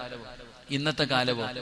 ഇന്നത്തെ കാലത്ത് പത്താം ക്ലാസ്സിൽ പഠിക്കുന്നവളും പ്ലസ് വണ്ണിന് പഠിക്കുന്നവളും വീട്ടിൽ കയറി വന്നിട്ട് വാപ്പാനോട് പറയും ഞാൻ ഒരുത്തനെ നോക്കി വെച്ചിട്ടുണ്ട്. എനിക്ക് അവനെ കെട്ടിച്ചേരണം. അപ്പൊ വാപ്പ അവനെ കുറിച്ച് അന്വേഷിക്കും. അന്വേഷിച്ചിട്ട് പറയും മോളെ അവൻ നമ്മുടെ ജാതിയല്ല. അവന്റെ സ്വഭാവം ശരിയല്ല. അതൊന്നും എനിക്കറിയണ്ട. എനിക്ക് ഓനെ തന്നെ മതി. എനിക്ക് ഓനെ തന്നെ മതി. എന്നാ പണ്ടുള്ളവരങ്ങനെ ആയിരുന്നില്ല സഹോദരങ്ങളെ? നിങ്ങൾ ചരിത്രം എടുത്തു നോക്ക്. ഒരു മനോഹരമായ ചരിത്രം ഞാൻ പറയാം. മുബാറക് എന്ന് പറയുന്ന ഒരു അടിമയുണ്ടായിരുന്നു. മുന്തിരിത്തോട്ടത്തിലെ ജോലിക്കാരനാണ് മുന്തിരിത്തോട്ടത്തിലെ ജോലിക്കാരനാ. ഈ മുബാറക് എന്ന് പറയുന്ന അടിമയെ ഒരു ദിവസം യജമാനം വിളിച്ചിട്ട് പറഞ്ഞു മുബാറക്ക് വീട്ടിൽ വിരുന്നുകാർ വന്നിരിക്കുന്നു. നീ പോയിട്ട് മുന്തിരിത്തോട്ടത്തിൽ നിന്ന് ഒരു കുലം മുന്തിരി പറിച്ചു കൊണ്ടുവാ മുബാറക് എന്ന് പറയുന്ന അടിമ നേരെ മുന്തിരിത്തോട്ടത്തിൽ ചെന്ന് ഒരു കുല മുന്തിരി പറിച്ചു യജമാനന്റെ മുന്നിൽ കൊണ്ടുവച്ചു. യജമാനൻ ഒരു മുന്തിരി എടുത്ത് തിന്നു നോക്കിയപ്പോ വല്ലാത്ത കയ്പ്. പോയി പറഞ്ഞു എടാ പോയിട്ട് മധുരം ഉള്ളത് പറിച്ചോണ്ട് വാടാ. മുബാറക് എന്ന് പറയുന്ന അടിമ രണ്ടാമത് മുന്തിരി തോട്ടത്തിൽ പോയി. ഒരു കുല മുന്തിരി കൂടെ കൊണ്ടുവന്ന് യജമാനന്റെ മുന്നിൽ വെച്ചു. അതും തിന്നു നോക്കിയപ്പോ വല്ലാത്ത പുളിപ്പ്. യജമാനന് ദേഷ്യമായി അവിടെ നിന്ന് പറഞ്ഞു മുബാറക്കെ മധുരമുള്ളത് പറിച്ചു കൊണ്ടുവരാനാ പറഞ്ഞ്. പോയിട്ട് വാടാ. അങ്ങനെ മൂന്നാമതും മുബാറക് എന്ന് പറയുന്ന അടിമ മുന്തിരിത്തോട്ടത്തിൽ പോയി നോക്കി ഒരു കുല മുന്തിരി കണ്ടു. മുറിച്ചുകാത്തതേതാ നിനക്കറിയില്ലേടാ എന്ന് പറഞ്ഞിട്ട് ഇങ്ങനെ തല്ലുമ്പോ അടികൊള്ളുന്നതിന്റെ ഇടയിൽ മുബാറക് എന്ന് പറയുന്ന അടിമ ചോദിച്ചു. എന്നോട് മുന്തിരിത്തോട്ടത്ത് പള്ളികളിൽ കാസർഗോഡ് പോകട്ടെ. ഏകദേശമുള്ള പള്ളിയിൽ നമസ്കരിക്കാൻ പോകുമ്പോ മൂത്രം ഒഴിക്കാൻ വേണ്ടി മൂത്രപ്പരയുടെ മുന്നിൽ ചെല്ലുമ്പോ അവിടെ കിടക്കുന്ന ചെരുപ്പിന്റെ മൂക്ക് വരെ വെട്ടിയിട്ടുകൊണ്ടിരിക്കുക അടിച്ചുകൊണ്ട് പോകാതിരിക്കുക. പള്ളിയുടെ മൂത്രപ്പരയുടെ മുന്നിൽ കിടക്കണ ചെരുപ്പ് വരെ ഇങ്ങനെ മൂഭാഗം മുറിച്ചിട്ടിരിക്കുക. എന്തിന്? എടുത്തുകൊണ്ട് പോകാതിരിക്കാൻ പള്ളിയുടെ മൂത്രപ്പര ഇരിക്കണ കപ്പ് എന്തിനാ കെട്ടിയിടുന്നത് നിങ്ങൾ പറ. തറയി വീഴാതിരിക്കാനാ? നിങ്ങൾ സത്യം പറ. ഈ പള്ളിയിലെ മൂത്രപ്പരയിലിരിക്കണ കപ്പ് കെട്ടിയിടുന്ന ചങ്ങലയിൽ ഇടാൻ പറ്റുന്നില്ല. അല്ലെങ്കിൽ അതും വെടിച്ചിട്ടാനെ എന്തിന്? അതുവരെ അടിച്ചുകൊണ്ട് പോകും. അള്ളാഹു കാത്തിരിക്കുമാറാകട്ടെ ഉള്ളത് പറഞ്ഞങ്ങാതി ഞാൻ പറഞ്ഞത് ഉള്ളതല്ലേ? ഈ പള്ളിയുടെ മൂത്രപ്പരയിരിക്കണ കപ്പ് കെട്ടിയിടുന്ന എന്തിനാ? അതും അളവ്. പോട്ട്. ഒരു നീളം അനുസരിച്ച് കെട്ടിയിട്ടിരിക്ക ആ മൂത്രപ്പരയുടെ മുന്നിൽ കിടക്കണ ചെരുപ്പ് വരെ അടിച്ചുകൊണ്ട് പോകാതിരിക്കാൻ കെട്ടിയിരിക്കുക. എന്നാ പത്തു കൊല്ലം ഒരു മുന്തിരിത്തോട്ടത്തിൽ ജോലി ചെയ്തിട്ട് താഴെ വീണ ഒരു മുന്തിരി പോലും എടുത്തു തിന്നില്ല. ഈ മനുഷ്യന്റെ കയ്യെ പിടിച്ചിട്ട് ഈ മുബാറക് എന്ന് പറയുന്ന അടിമയുടെ കയ്യെ പിടിച്ചിട്ട് നേരെ വീടിന്റെ അകത്ത് പോയി കോടീശ്വരനായ വലിയ കുടുംബ മഹിമയുള്ള മുതലാളി. എന്നിട്ട് മോളെ വിളിച്ചിട്ട് പറഞ്ഞു മോളെ നിനക്കൊരു പുതിയാപ്പളയ വാപ്പ കൊണ്ടുവന്നിട്ടുണ്ട്. ആരാ ഉപ്പ? ആരാ ഉപ്പ എന്നെ എനിക്ക് വേണ്ടി എന്റെ വാപ്പ തെരഞ്ഞെടുത്ത പുതിയാപ്പള ആരാ? നമ്മുടെ തോട്ടത്തിൽ ജോലി ചെയ്യണം മുബാറക്കുണ്ടല്ലോ ഓന. ഈ മോൾ ചോദിച്ച് എന്തേ ഉപ്പ ഓനെ തിരഞ്ഞെടുത്തേ? എന്റെ വാപ്പ അവനെ തിരഞ്ഞെടുക്കാനുള്ള കാരണം എന്താ ആ സമയത്ത് വാപ്പ പറഞ്ഞു കൊടുത്തു ഇനി എന്റെ ജീവിതകാലം മുഴുവനും നിനക്ക് പുതിയാപ്പളയെ തെരഞ്ഞാലും ഇവനെക്കാലം നല്ല ഒരുത്തനെ എനിക്ക് തെരഞ്ഞെടുക്കാൻ പറ്റൂല. ആ മോൾ ചോദിച്ചു വാപ്പായ്ക്ക് ഇഷ്ടമാണോ? വാപ്പായ്ക്ക് ഇഷ്ടമാണോ? ഇഷ്ടവാ എനിക്ക് ഇഷ്ടവാ വാപ്പ. എന്റെ പ്രിയപ്പെട്ടവരെ ആ പെണ്ണിനെ കല്യാണം കഴിച്ചു കൊടുത്തു. അദ്ദേഹത്തിന്റെ മകന അബ്ദുല്ലാഹിബിൻ മുബാറക് റളിയല്ലാഹു താലാനഹു അള്ളാഹു ഈമാൻ തരുമാറാകട്ടെ ഞാൻ പറഞ്ഞു വന്നത് പെൺമക്കൾ ഇരുപത്തൊന്ന് വയസ്സ് ഇരുപ പതിനെട്ട് വയസ്സ് തന്റെ മക്കൾക്ക് ഇരുപത്തൊന്ന് വയസ്സ് വിവാഹപ്രായം എത്തിയപ്പോ അള്ളാഹുവിന്റെ പ്രവാചകന് ഫാത്തിമ എന്ന് പറയുന്ന മകളോട് ചോദിച്ചു നിന്റെ കല്യാണം കഴിക്കാൻ സമയമായി കെട്ടിച്ചു കൊടുക്കട്ടെ?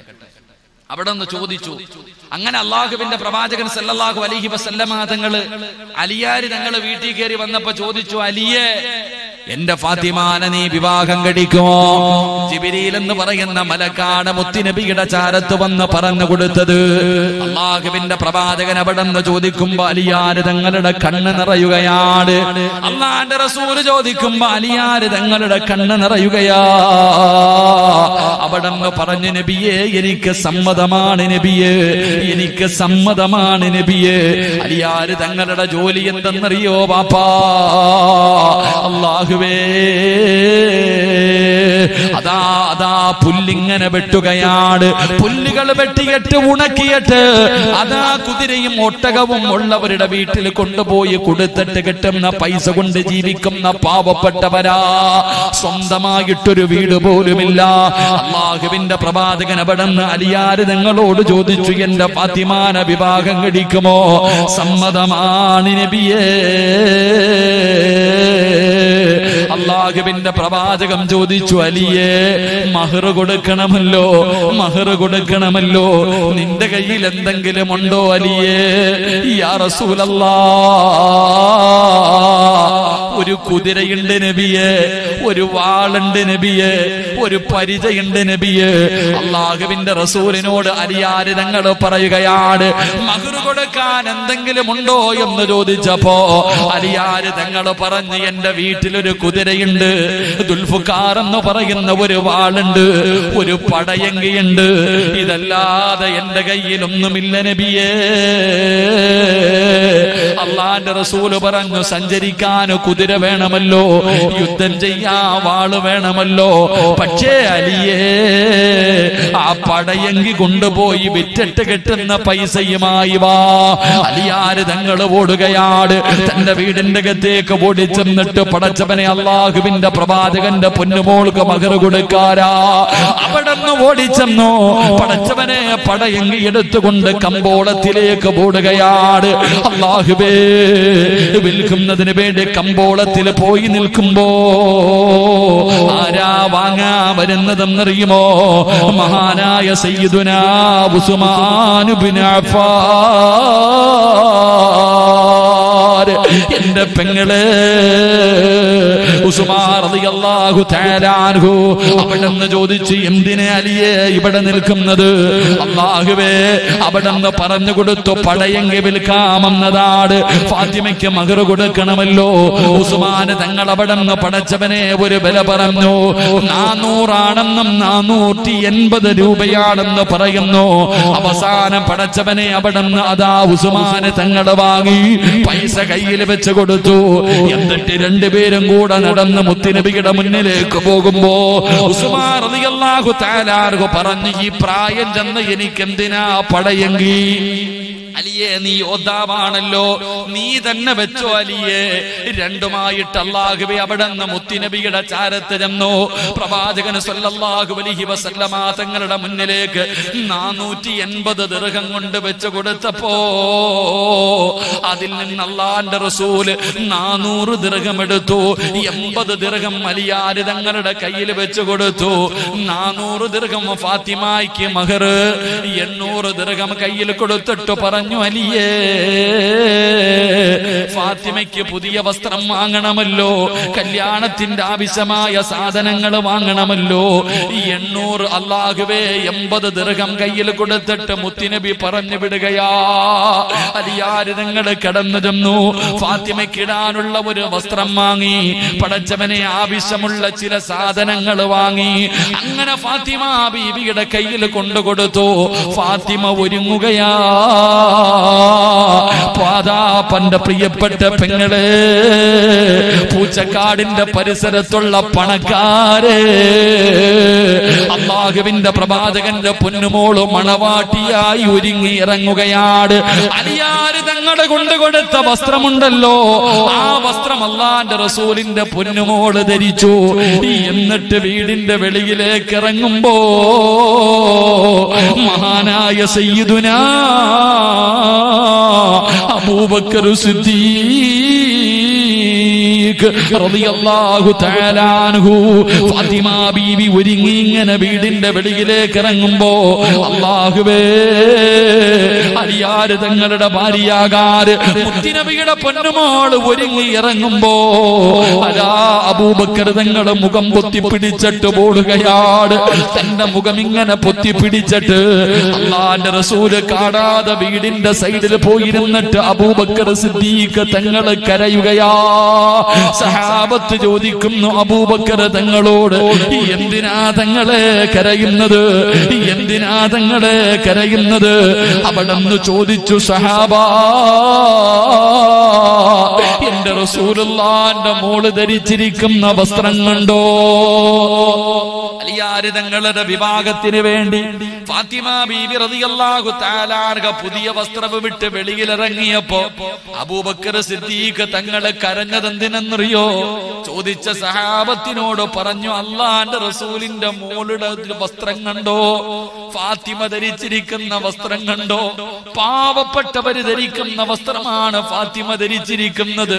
മുത്തിനബിയുടെ പൊന്നുമോളുടെ അവസ്ഥ കണ്ടട്ടാ സഹാബാ ഞാൻ കരയുന്നത്. അവിടെ നിന്ന് പടച്ചവനെ അബൂബക്കർ തങ്ങൾ പറയുമ്പോ എന്റെ പ്രിയമുള്ള സഹോദര തന്റെ പൊന്നാര മക്കളുടെ കല്യാണം നടത്തുമ്പോ ഗാനമേള നടത്തുന്നവരും ലക്ഷങ്ങളെ ചിലവഴിക്കുന്നവർ സ്വർണത്തിന്റെ ചെരുപ്പ് വരെ ഇട്ടുകൊടുക്കുന്ന മുസ്ലിമേ. എന്റെ പ്രിയപ്പെട്ട പൂച്ചക്കാടിന്റെ പരിസരത്തുള്ള ചെറുപ്പക്കാരോട് എടാ പൊന്നുമോനെ അലിയാര് തങ്ങളുടെ കല്യാണത്തിന് വേണ്ടി ഒരുങ്ങുമ്പോ ഫാത്തിമായിക്ക് വാങ്ങിക്കൊടുത്ത വസ്ത്രം കണ്ടിട്ട് അവിടത്തെ സഹാബത്ത് പോലെ കരഞ്ഞു പോവുകയാണ്. കാരണം കൊടുക്കാനൊന്നുമില്ലല്ലോ. നിക്കാഹിന് വേണ്ടി തയ്യാറെടുത്തപ്പോ അള്ളാന്റെ റസൂൽ ചോദിക്കുന്നു അലിയേ നിക്കാഹ് കഴിഞ്ഞാൽ വലിയമ കൊടുക്കണമല്ലോ ഭക്ഷണം കൊടുക്കണമല്ലോ. അള്ളാഹുവിന്റെ റസൂൽ ചോദിച്ചു നിന്റെ കയ്യിൽ എന്തെങ്കിലും ഉണ്ടോ അലിയാര് തങ്ങളുടെ കണ്ണ് നിറയുകയാണ്. ആകെയുണ്ടായിരുന്നത് എൺപത് രൂപയാണ്. എൺപത് ദീർഘമാണ്. അതുകൊണ്ട് ഫാത്തിമ ബീവിക്ക് വസ്ത്രം വാങ്ങി അലിയാര് തങ്ങൾ ആവശ്യമുള്ള സാധനങ്ങൾ വാങ്ങി. ഇനി എങ്ങനാ പടച്ചവനെ കല്യാണത്തിന് വന്നവർക്ക് ഭക്ഷണം കൊടുക്കുന്നത്? അലിയാര് തങ്ങളുടെ കണ്ണ് നിറയുമ്പോ സഅദ് അള്ളാഹു അൻഹു ഓടി വന്നിട്ട് പറയുന്നു അലിയേ എന്റെ വീട്ടിൽ ഒരാട് നിൽക്കുന്നുണ്ട് അലിയേ. എന്റെ വീട്ടിൽ ഒരാട് നിൽക്കുന്നുണ്ട്. ഞാൻ നിനക്ക് വെറുതെ തരാ. ഞാൻ നിനക്ക് സതക്ക തരാ. വീട്ടിലേക്ക് ഓടുകയാണ്. ഓടിച്ചെന്നൊരാടിനെ കയ്യിൽ പിടിച്ചു കൊണ്ടുവന്ന് അതാ അലിയാര് തങ്ങളുടെ കയ്യിൽ കൊടുത്തിട്ട് പറഞ്ഞു അലിയേ ഇതിനെ അറുത്തിട്ട് കൊടുക്കലിയേ. അതാ മൂന്ന് സ്വഹാബികളുണ്ടല്ലോ. അവർ പറഞ്ഞു ഗോതമ്പ് മാവ് ഞങ്ങൾ തരാം. ഗോതമ്പ് മാവ് ഞങ്ങൾ തരാ. അലിയാര് തങ്ങളുടെ കയ്യിലേക്ക് വെച്ചു കൊടുക്കുമ്പോ അലിയാര് തങ്ങൾ കരയുകയോ. ഇതാരുടെ വിവാഹമാവാപ്പാ. ഈ ലോകം തന്നെ സൃഷ്ടിക്കാൻ കാരണക്കാരനായ മുത്തിനബിയുടെ പൊന്നുമോളുടെ വിവാഹമാണ് ഈ നടക്കുന്നത്. എന്റെ പ്രിയപ്പെട്ട പെങ്ങൾ നിനക്ക് പണമുള്ളവന മതി സൗന്ദര്യമുള്ളവന മതി. എന്റെ പ്രിയപ്പെട്ട ചെറുപ്പക്കാരാ വിവാഹത്തിന്റെ അന്ന് പടച്ചവനെ. എന്തൊക്കെ കോമാളിത്തരങ്ങളാടാ കാണിക്കുന്നത്. പടച്ചവനെ അതാ ഇന്ന് പല കല്യാണങ്ങളിലും നടക്കുന്ന രംഗമെന്തെന്നറിയോ? അതാ പടച്ചവനെ ഒരേ കളറുള്ള ഉടുപ്പ് ഒരേ കളറുള്ള ഉടുപ്പ്. എല്ലാവർക്കും പടച്ചവനെ കൂട്ടുകാർക്ക് വരെ വാങ്ങിക്കൊടുക്കുകയാണ്. ഒരു പുതിയ ട്രെൻഡാണല്ലോ. അതാ കുടുംബത്തിലെ പെണ്ണുങ്ങൾക്ക് മുഴുവനും ഒരേ നിറമുള്ള സദാ സാരി. എന്റെ പെങ്ങളെ അള്ളാഹുവിന്റെ പ്രവാചകന്റെ പൊന്നുമോൾ ധരിച്ചിരുന്ന വസ്ത്രമുണ്ടല്ലോ. അള്ളാഹുബെ അത് കണ്ടിട്ട് സ്വഹാബത്ത് കരഞ്ഞു പോവുകയാണ്. വേടിച്ചു കൊടുക്കാനില്ലാത്തത് കൊണ്ട് എന്റെ പ്രിയപ്പെട്ട പെങ്ങൾ അള്ളാഹുവിന്റെ പ്രവാചകന്റെ പൊന്നാര മകളായ ഫാത്തിമ ബീബിയുടെ കല്യാണം കഴിഞ്ഞു. അലിയാര് തങ്ങളുടെ വീടെവിടെയെന്നറിയോ അലിയാര് തങ്ങളുടെ കുടുംബ വീട്ടിലാണ്. പടച്ചവനെ എല്ലാവരും കിടക്കുന്നത് അലിയാര് തങ്ങളും തന്റെ പ്രിയപ്പെട്ട ഉമ്മയും തന്റെ സഹോദരിമാരും എല്ലാവരും കിടക്കുന്നത് ഒരു കൂരയ്ക്കകത്താ. ഒരു സൗകര്യമില്ലാത്ത വീടാ. ആ വീടിന്റെ സൈഡിൽ ഈന്തപ്പന ഓലകൾ കൊണ്ട് ഇങ്ങനെ ഒരു ചെറിയ ഒരു റൂം ഉണ്ടാക്കുകയാണ്. ഈന്തപ്പന ഓലകൾ കൊണ്ട് പടച്ചവനെ ആ ചെറിയ വീടിന്റെ സൈഡിൽ ഒരു സൗകര്യമുണ്ടാക്കി. ആ വീടിന്റെ അകത്തേക്കാണ് അള്ളാഹുവിന്റെ പ്രവാചകന്റെ കരടിന്റെ കച്ചമായ സ്വർഗത്തിന്റെ റാണിയായ തആല അൻഹയെ തങ്ങളെ കയ്യിൽ പിടിച്ചുകൊണ്ട് കിടന്നു പോയത് അല്ലാ രണ്ട് രണ്ടുപേരും കൂടെ മണിയറക്കകത്തേക്ക് കടന്നിരുന്നു അള്ളാഹുവിന്റെ പ്രവാചകന്റെ പൊന്നമകളായ ഫാത്തിമ ബീബി കൊട്ടാരമില്ലായിരുന്നു വാപ്പാ. രണ്ട് നിലയുള്ള വലിയ മാണിയറില്ലായിരുന്നു. പടച്ചവനെ ഏറ്റവും കൂടുതൽ അതാ കല്യാണത്തിന് പൈസ ചെലവാക്കുന്നത് എന്തിനാട് ഏറ്റവും കൂടുതൽ പൈസ ചെലവാക്കുന്നത് അള്ളാന്റെ റസൂൽ സല്ലാ അലൈഹി വസല്ലം ആ തങ്ങളുടെ പൊന്നുമോക്ക് സ്വന്തമായിട്ട് ഒരു വീട്. അലിയാരി തങ്ങൾക്ക് വീടില്ല. ഉണ്ടായിരുന്ന കുടുംബ വീടിന്റെ സൈഡിൽ ഈന്തപ്പന ഓലകൾ കൊണ്ട് മറച്ചു ഒരു ചെറിയൊരു കൂരയാക്കി.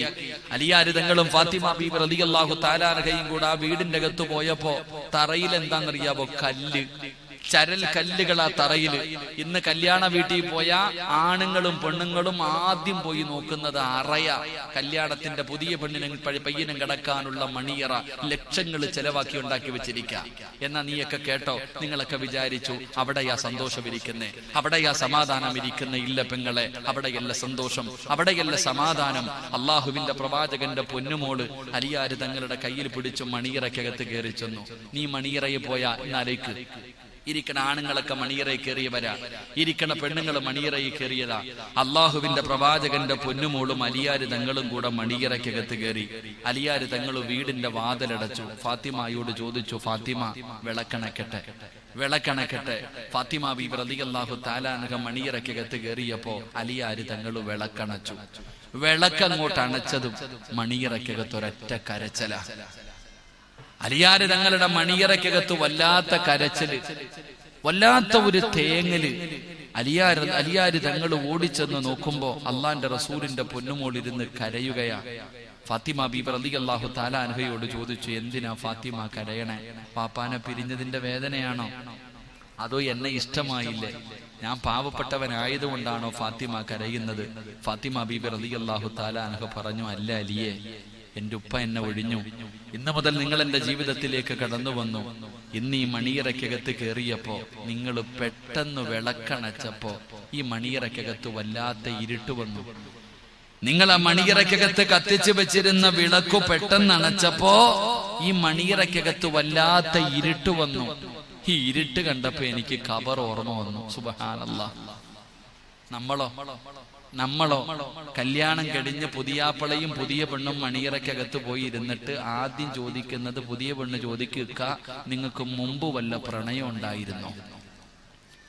കല്യാണം കഴിഞ്ഞ് ആദ്യ രാത്രി നീ എന്താ ചോദിച്ച്?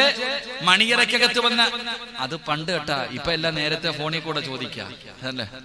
ഇപ്പൊ പെണ്ണ് കല്യാണം കഴിക്കുന്നതിന് മുമ്പേ ഭർത്താവിന്റെ രഹസ്യം മൊത്തം കാമുകിയായിട്ടുണ്ട്. എന്നാ മണിയറയ്ക്കകത്ത് കയറി ചെല്ലുമ്പോ പെണ്ണ് ചോദിക്കുക നിനക്ക് വേറെ കാമുകി വല്ലതും ഉണ്ടാ? എനിക്ക് മൂന്നെണ്ണം ഉണ്ടായിരുന്നു. ഒന്നിനെ കൊണ്ട് ബേക്കൽ ഫോർട്ടിൽ പോയി ഒന്നിനെ കൊണ്ട് ഞാൻ അവിടെ പോയി ഇവിടെ പോയി. എന്നിട്ട് ചോദിക്കും നിനക്ക് വല്ലതും ഉണ്ടായിരുന്നു ആമിന? അതൊന്നും ഇല്ലക്ക അങ്ങോട്ടും ഇങ്ങോട്ടും. എന്ന ഫാത്തിമ അള്ളാഹുവിന്റെ പ്രവാചകൻ ഉമ്മ മരിച്ചു പോയതിനു ശേഷം ഉമ്മ മരിച്ചതിന് ശേഷം റസൂലുള്ള വളർത്തിയ ഫാത്തിമ എന്ന് പറയുന്ന പൊന്നുമോൾ കരഞ്ഞെന്തിനാ? വീടിന്റെ അകത്ത് മണിയറയ്ക്കകത്ത് കത്തിച്ചു വെച്ചിരുന്ന വിളക്കണച്ചപ്പോ ഒറ്റക്കരച്ചൽ. എന്റെ ഫാത്തിമ കരയണേ? ഇരുട്ട് കണ്ടപ്പോ എനിക്ക് ഖബർ ഓർമ്മ വന്നു അലിയെ. സുബഹാനല്ല എനിക്ക് ഖബർ ഓർമ്മ വന്നു. അലിയാര് തങ്ങൾ പറയാ ഫാത്തിമ നമ്മുടെ ആദ്യ രാത്രിയാ ഫാത്തിമ എന്ന്. നീ ഇവിടെ ഇരുന്നിട്ട് കരയുന്ന മണിയറയാ ഫാത്തിമ. മണിയറയ്ക്കകത്ത് മണിയറയ്ക്കകത്തിരുന്നിട്ട് നീ കരയാണോ? നമ്മുടെ സ്വപ്നങ്ങൾ പൂവണിയേണ്ട രാത്രിയാ ഫാത്തിമ. ഫാത്തിമ ബീബി അള്ളാഹു താലാൻഹ അലിയാര് തങ്ങൾക്ക് പറഞ്ഞു കൊടുത്തു. ഇതല്ല അലിയ മണിയറ. ഇതല്ല മണിയറ. കല്യാണത്തിന്റെ ഒന്നാമത്തെ രാത്രിയല്ല മണിയറ. ഇവിടെയല്ല മണിയറ ഒരുക്കേണ്ടത്. മണിയറ ഒരുക്കേണ്ടത് എവിടെയെന്നറിയുമോ? അൽ ഖബറു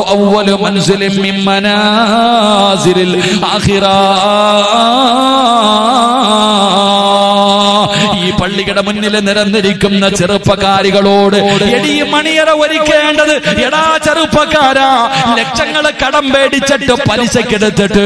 എടാ വല്ല പെണ്ണിന്റെയും വാപ്പ ഗൾഫിൽ കിടന്ന് കഷ്ടപ്പെട്ട് രക്തം വിയർപ്പാക്കി അധ്വാനിച്ച പൈസ വാങ്ങിയിട്ടും നാണമില്ലാതെ കൊണ്ടുവന്ന് കല്യാണത്തിന് പങ്കെടുക്കുന്ന കൂട്ടുകാർക്ക് മുഴുവനും തുണിയെടുത്തു കൊടുക്കുന്ന ചെറുപ്പക്കാരാ. എടാ പൈസ കൊണ്ടുവന്ന് വീട് പെയിന്റ് അടിക്കുന്നവന് ലക്ഷങ്ങൾ ചെലവഴിച്ചിട്ട് മണിയറ ഒരുക്കുന്നവന്. എടാ അവിടെയല്ല മണിയറ ഒരുക്കേണ്ടത്. എടാ അവിടെയല്ല മണിയറ ഒരുക്കേണ്ടത്. നീമാനുള്ളവനാണോ നീ മുസ്ലിമാണോ? ഈ പൂച്ചക്കാട് പള്ളിക്കാട്ടിൽ ഒരു മണിയറ പണിയടാ. അള്ളാഹുവിന്റെ പ്രവാചകന്റെ പൊന്നാരമകൾ മണിയറയ്ക്കകത്ത് കയറി വന്ന പ്രിയപ്പെട്ട ഭർത്താവിനോട് അവിടെ പറഞ്ഞു അലിയേ മണിയറ ഒരുക്കേണ്ടത് വിഭാഗത്തിന്റെ ഒന്നാമത്തെ രാത്രിയല്ല. അത് ഒരുക്കേണ്ടത് പള്ളിപ്പറമ്പിലാണ് എല്ലാവരും കൂടെ മൂന്ന് കറ്റം വെള്ള തുണിയിൽ എന്നെ കുളിപ്പിച്ച് പുതച്ച് കിടത്തുമല്ലോ. മുക്കിന്റെ ദ്വാരം പഞ്ഞി കൊണ്ടടയ്ക്കുന്നേ. കാണേണ്ടവർ കണ്ടോ? ഇതാ പൊതിയുന്നേ. മയ്യത്തുകട്ടിൽ തോളിലേക്കുയരുന്നേ പുരയ്ക്കുള്ളിലപ്പോൾ രോദനം ഉയരുന്നേ. അരുമക്കിടാങ്ങൾ വാപ്പയെ വിളിക്കുന്നേ. അതിനുത്തരം നൽകാതെ നീ കിടക്കുന്നേ. പൂജക്കാട് പള്ളിയിൽ നിന്ന് ഒരു ദിവസം ഈ പള്ളിയുടെ സൈഡിൽ പൊടികടിച്ചിരിക്കുന്ന മയ്യത്ത് കെട്ടിലുണ്ടല്ലോ. അത് നിന്റെ വീട്ടിലേക്ക് കൊണ്ടുവന്ന് കുളിപ്പിച്ച മൂന്ന് കച്ചം വെള്ളതാ അതാ ഭർത്താവിന്റെ കാമുകിമാരുടെ എണ്ണമെടുക്കുന്ന പെങ്ങൾ.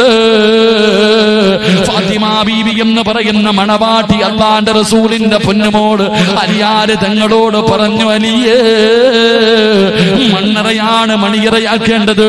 മണ്ണറയിലാണ് മണിയറ പൊരിക്കേണ്ടത്.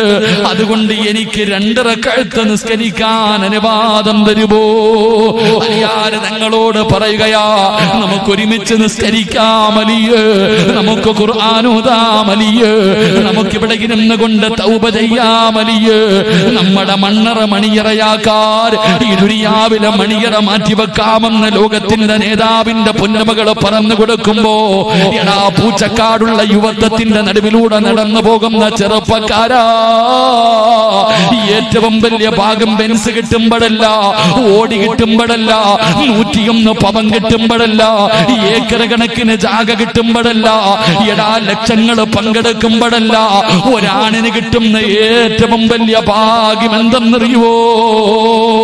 ഒരാണിന് കിട്ടുന്ന ഏറ്റവും വലിയ ബമ്പർ എന്തെന്നറിയുവോ? അത് സാലികത്തായ ഒരു പെണ്ണാ. ഒരാണിന് കിട്ടുന്ന ഏറ്റവും വലിയ ഭാഗ്യം നീ വിചാരിച്ച് ഓടിക്കാറിലാണെന്ന്. ഏറ്റവും വലിയ കാസർഗോഡത്തെ ഏറ്റവും വലിയ സമ്പന്നന്റെ മകളാണെന്ന് നീ കരുതിയെങ്കിൽ ഇല്ലടാ ചെറുപ്പക്കാരാ ഒരാണിന് കിട്ടുന്ന ഏറ്റവും വലിയ ഭാഗ്യം എന്തെന്നറിയോ ഒരു സാലികത്തായ പെണ്ണിനെ കിട്ടുന്നത് ലോകത്തിലെ ഒരാണിന് കിട്ടുന്ന ഏറ്റവും വലിയ ഭാഗ്യമാണെന്ന് ആദരവായ പ്രവാചകൻ നബി മുഹമ്മദ് മുസ്തഫ ആദരവായ പ്രവാചകൻ നബി മുഹമ്മദ് മുസ്തഫ. തങ്ങൾ പറയുമ്പോ എടാ ഒരു സാലികത്തായ പടച്ചറപ്പിനെ പേടിയുള്ള ഒരു പെണ്ണിനെ നീ പോയി കാണടാ. കല്യാണ ആലോചന കഴിഞ്ഞു. പടച്ചവനെ അവസാനം ഇന്നൊക്കെ പെണ്ണ് കാണാൻ പോകുമ്പോ കൊണ്ടുപോകുന്നത് ഫോണാണ്. കൊണ്ടുപോയി ആദ്യം കൊടുക്കുന്നത് ഫോണാണ്. എന്നിട്ട് നമ്പരും കൊടുത്തിട്ട് പറയും വിളിക്കോ. നല്ല ഉപ്പയ്ക്ക് പറഞ്ഞ മോളാണെങ്കിൽ നിങ്ങൾ എന്നെ കുറ്റം പറഞ്ഞാൽ കുഴപ്പമില്ല. നല്ല വാപ്പായിക്കും ഉമ്മായിക്കും പിറന്ന മക്കളാണെങ്കിൽ വിളിക്കുമ്പോ പറയും കൊണ്ടുപോ നിന്റെ ഫോണ് എനിക്ക് പതിനെട്ട് കൊല്ലം അള്ളാനെ പേടിച്ച് ജീവിക്കാൻ കഴിയുമെങ്കിൽ നീ കെട്ടുന്നത് വരെ നടക്കാൻ എനിക്കറിയാമടാ. നട്ടല്ലില്ലാത്ത വാപ്പമാര് നട്ടല്ലില്ലാത്ത വാപ്പമാര്. പതിനെട്ട് കൊല്ലം അള്ളാനെ പേടിയുള്ള ഒരു മകളെ വളർത്തിയിട്ട് ഏതെങ്കിലും ഒരു തമ്മെന്ന് കണ്ടിട്ട് ഒന്ന് വിവാഹം ഉറപ്പിക്കുമ്പോ വ്യഭിചരിക്കാൻ സൗകര്യം ചെയ്തു കൊടുക്കുന്ന ഉപ്പാ നീ നേരെയാകുവോ? നീ അള്ളാന്റെ മുന്നിൽ കുറ്റക്കാരനാണ് പടച്ചറപ്പ് നിന്നെ വെറുതെ വിടത്തില്ലെന്ന് ആദരവായ പ്രവാചകൻ നബി മുഹമ്മദ് മുസ്തഫ. ഉറക്കപ്പറ ആദരവായ പ്രവാചകൻ നബി മുഹമ്മദ് മുസ്തഫ. സല്ലല്ലാ അലൈഹി നീ എങ്ങനെ? നീ വാപ്പ. നിന്റെ മോളെ പതിനെട്ട് കൊല്ലം വളർത്തും. ഫോണും വിളിക്കൂല വ്യഭിചരിക്കാനും വിടൂല കറങ്ങാനും വിടൂല. പക്ഷെ പതിനെട്ട് വയസ്സുള്ള നിന്റെ മോളെ ഏതെങ്കിലും ഒരുത്തം വന്ന് കണ്ടു കല്യാണം ഉറപ്പിച്ചു. ആദ്യം കൊടുക്കണത് ഫോൺ. ഇപ്പൊ പിന്നെ പെണ്ണ് കാണുന്നത് മാലിക് ദിനാറ് മക്കാമിന്റെ മുന്നില. അള്ളാഹു ഈമാൻ തരുമാറാകട്ടെ. കാലവിടത്തി നിൽക്കണം. സഹാബിയുടെ വർക്കത്ത്. സഹാബിയുടെ മക്കാമിൽ ഇങ്ങനെ പോയി ഒരുങ്ങി കെട്ടി നിൽക്കും. വീട്ടിൽ വന്ന ഇഷ്ടപ്പെട്ടില്ലെങ്കിലോ? ഇപ്പൊ പെണ്ണ് കാണാൻ വേണ്ടി ആ മക്കുപറ ഉപയോ- ഉപ- ഉപയോഗിക്കുന്നത്. അള്ളാഹു കാത്തിരക്ഷിക്കുമാറാകട്ടെ. നിങ്ങൾ ആലോചിച്ച് നോക്കിയേ. പതിനെട്ട് കൊല്ലം. ഓ പാപ്പാന്ന് പറഞ്ഞ മോളെ മിസ് കോൾ കണ്ടാ തല്ലും. മോൾ ആരോടെങ്കിലും സംസാരിക്കുന്നത് കണ്ടാ തല്ല്. എന്ന ഒരുത്തം വന്ന് കണ്ടു ഇഷ്ടപ്പെട്ടു ഒരു സ്വർണവും ഇട്ടിട്ട് ഒരു മൊബൈലും കൊടുത്തിട്ട് പോകും. പിന്നെ നിനക്ക് അനുവാദം. വിളിച്ചോ. പോൾ ഫോൺ വിളിച്ചുകൊണ്ട് നടക്ക. എടാ നല്ല വാപ്പായ്ക്ക് പറഞ്ഞവൻ വിളിക്കൂല.